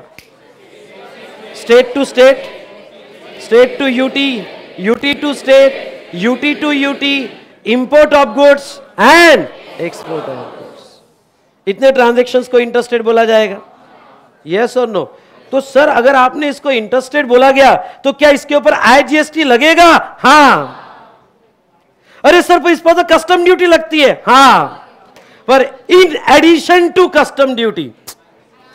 मेरे वर्ड को कैच करना क्या in addition to custom duty क्या लगता है आईजीएसटी आईजीएसटी लगेगा और सर एक्सपोर्ट पे भी लगेगा हाँ ओके पर एक्सपोर्ट को आगे एग्जामेशन दिए हैं लेकिन ये दोनों ट्रांजेक्शन इंटरस्टेट माने जाएंगे सो so, सर इसका मतलब ये हुआ कि अगर हम बाहर से गुड्स लाते हैं तो कस्टम ड्यूटी लगती है प्लस आईजीएसटी भी लगता है हाँ समझ लो कार इंपोर्ट कर रहे हो आप बाहर से तो कार पे तो बेटा कस्टम ड्यूटी लग रही है 40 परसेंट से और आईजीएसटी लग रहा है 28 परसेंट से अराउंड 68 परसेंट का तो टैक्स ही लग जाता है अरे आया ना तो अब आप किसी का ये सवाल होगा किसी का ये सवाल होगा कि सर अगर कस्टम ड्यूटी लगाया जा रहा है तो आईजीएसटी अलग से क्यों लगाया जा रहा है अरे है ना उसमें इंटरेस्टेड क्यों कह रहे हैं और उसके ऊपर आईजीएसटी अलग से क्यों लगाया जा रहा है तो बेटा ओके मैं इतना ही बता देता हूं ये आपका सब्जेक्ट मैटर नहीं है क्योंकि कस्टम आपके सिलेबस में नहीं है पर पर पर एक बात अगर आपको लॉजिक समझ में आ रहा होगा तो आ, कोशिश करता हूं जस्ट एक मिनट में समझा तो ठीक नहीं समझा तो बहुत अच्छी बात है क्योंकि समझा ही नहीं ठीक है क्योंकि आपके एग्जाम के लिए रिलेवेंट नहीं है कोशिश करता हूँ समझाने की ठीक है कोशिश करता हूँ देखो आपको समझ में आता है क्या समझ लो एक वेल रिप्यूटेड सोसाइटी है ओके बंगलो स्कीम है और इस बंगलो में कैटरीना कैफ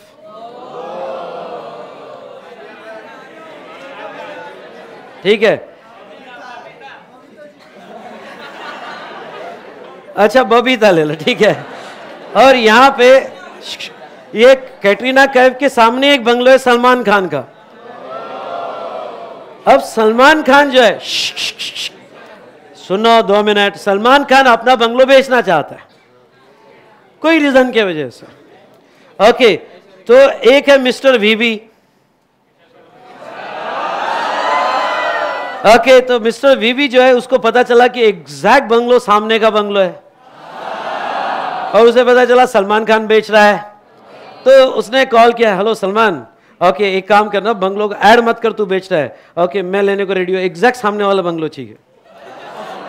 तो मैं ये बंगलो लेने को रेडी हूँ तो सलमान ने कहा कि देख भाई प्राइस दस करोड़ होगी मैंने कहा डन ये रहा चेक बंगलो तो वही चाहिए ओके दस करोड़ ये रहा चेक हाँ अब देखो सुनना ध्यान से दस करोड़ पे करने के बाद ओके यहां ओनर बना कौन ओनर बना वे भी ओके अब देखो ध्यान से सुनना ये दस करोड़ जो पे किया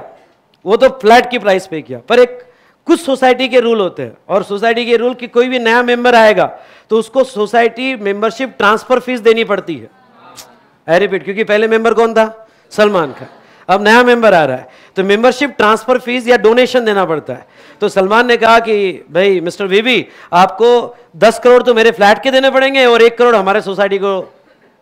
डोनेशन देना पड़ेगा या मेंबरशिप ट्रांसफर फीस देनी पड़ेगी मैंने कहा कोई प्रॉब्लम नहीं एक करोड़ वो ले लो डन अच्छा ये ये एक करोड़ देके मैं ये सोसाइटी का मेंबर बना एक करोड़ देके सोसाइटी का मेंबर बना अब मुझे बताओ ये जो सोसाइटी है ये मंथली मेंटेनेंस चार्जेस सबसे ले रही है तो क्या ये मेरे से भी लेगी अरे मैं तो एक करोड़ पहले ही दे चुका हूं वो तो मेंबर होने के चार्जेस है अरे है ना अब तो जो सबको लग रहा है वो मुझे भी लगेगा वैसे ही बेटा ऐसा है कि जब कोई गुड्स और सर्विस इंपोर्ट होती है सुनना तो गुड्स इंपोर्ट होता है तो कस्टम ड्यूटी तो वो गुड्स को इंडिया की मेंबरशिप देने के चार्जेस है समझ में आया क्या वो कस्टम ड्यूटी के फॉरेन गुड्स फिरंगियों का गुड्स इंडिया का बन रहा है ये समझा या नहीं समझा तो वो गुड्स इंडिया का बन रहा है तो उस कस्टम ड्यूटी तो सिर्फ इसलिए लगाई गई क्योंकि वो इंडिया का पार्ट बनने वाला है और जो इंडियन ट्रेडर को सबको देना है बताओ इंडियन ट्रेडर को सबको क्या देना है जीएसटी वो अलग ये समझ में आया क्या वो अलग मतलब जो सबको देना है वो तो देना ही पड़ेगा क्या आए जीएसटी और ये एक्स्ट्रा जो लगा वो तो इंडिया का पार्ट बनने के चार्जेस है तो इसके ऊपर कस्टम ड्यूटी भी लगती है आईजीएसटी भी लगती है अरे sir but no but shut only cut to cut sir मन नहीं मान रहा है तो डूब मरो दोनों टैक्स लगेंगे कौन से दोनों टैक्स लगेंगे custom duty and IGS local tax भी लगेगा कमॉन कमॉन क्या कहा मैंने लोकल टैक्स भी लगेगा और custom duty is it clear इसलिए सुनना ध्यान से इंपोर्ट ट्रांजेक्शन को भी इंटरस्टेट बोला जाता है आई रिपीट क्या इंपोर्ट ट्रांजेक्शन को भी इंटरस्टेट बोला जाता है इंटरस्टेट ये वर्ड पे लिटरल मत जाना इंटरस्टेट मतलब स्टेट टू स्टेट ऐसा नहीं ओके अदर कंट्री से हमारे कंट्री में आ रहा है उसको भी इंटरस्टेट और यहां से एक्सपोर्ट हो रहा है वो भी इंटरस्टेट ठीक है तो चलो एक बार फिर से मुझे बताओ कितने टैक्सेस लगाए गए थे चार है चार कौन से टैक्सेस चार है सी जी एस टी एक मिनट एक minute C G S T लगाना इसलिए आर्टिकल 265 कहता है कि कोई भी टैक्स लगाना है तो लॉ होना जरूरी है है ना तो सी जी एस टी के लिए एक लॉ बनाना पड़ेगा कौन सा लॉ बनेगा central goods and services tax act 2017 ये ईयर मत भूलना 2017 आप गवाह हो ये टैक्स के शायद 25 साल बाद आप अपने आर्टिकल को ये समझाओगे जब आप ऑफिस में आएंगे कि हमारे पहले एक्साइज थे वैट थे फिर हमारे टाइम जीएसटी आया अरे हाँ, है ना हो या हो सकता है तुम्हारा आर्टिकल मेरे से पढ़ के आए और आप पूछोगे अरे इतना किसने पढ़ाया तो हाँ, ऐसे केस में तो इन सिंपल वर्ड टी के एक टैक्स लॉ बनाना पड़ेगा जिसका नाम होगा क्या C G S T act S T के लिए अलग अलग स्टेट पास करेंगे क्योंकि एस जी स्टेट वाइज चलेगा ठीक है मानते वर्ड टू वर्ड सबका सेम रहेगा लेकिन सब स्टेट पास करेंगे ये समझ में आया तो अब इंडिया में 28 स्टेट बचे हैं पहले 29 थे अब 28 है एक कैसे कम हो गया सर जम्मू एंड कश्मीर पहले स्टेट था अब वो दो यूनियन टेरिटरी में डिवाइड हो गया है तो 28 टी लॉज बनेंगे और पहले सेवन यूटी थी अब नाइन यूटी हो गई अरे है ना क्योंकि जम्मू एंड कश्मीर दो यूटी में डिवाइड हो गया तो इतने सब अलग अलग लॉज रहेंगे एक आईजीएसटी एक्ट बनेगा जो इंटरस्टेट सप्लाई के बारे में डिस्क्राइब करेगा इज इट क्लियर और एक बनेगा यूटी जीएसटी एक्ट ऐसे इंडिया में चार एक्ट है जीएसटी से रिलेटेड मानता हूं कि सभी कॉमन प्लेटफॉर्म पे है पर है तो सेपरेट एक्ट ओके तो चलो यहां पे नीचे का टेबल देखते हैं हाँ हो गया हो गया हो गया देखो आंखें बंद करो हो गया हो गया देखो हाँ तो, तो यहाँ पे इंट्रास्टेट सप्लाई बचपन में कभी इंजेक्शन लिया आपने हाँ तो अब यहाँ ये बताओ इंट्रास्टेट सप्लाई पे कौन सा C G S T act दूसरा कौन सा बेटा एस जी एस टी ये थोड़ा हम बाद में मैं समझाऊंगा आपको ट्वेंटी सेवन स्टेट एक्सेट्रा और यूटी जीएसटी तो तीन एक्ट है और इंटर स्टेट के लिए कौन सा एक्ट है बेटा आई जीएसटी नीचे के डायग्राम में लिख दो सिर्फ इंपोर्ट ऑफ गुड्स इंपोर्ट और ये एक्सपोर्ट प्लीज प्लीज प्लीज इतना लिख दो सिर्फ इंपोर्ट और एक्सपोर्ट इंपोर्ट ऑफ गुड्स मुझे बताओ इंपोर्ट ऑफ गुड्स क्या ये इंटरस्टेट बोला जाएगा इंटरस्टेट बोला जाएगा और एक्सपोर्ट भी क्या इंटरस्टेट बोला जाएगा एक्सपोर्ट भी यहां इंटरस्टेट बोला जाएगा ओके यहां import of goods as well as export of goods चलिए यहां ब्रेक लेते हैं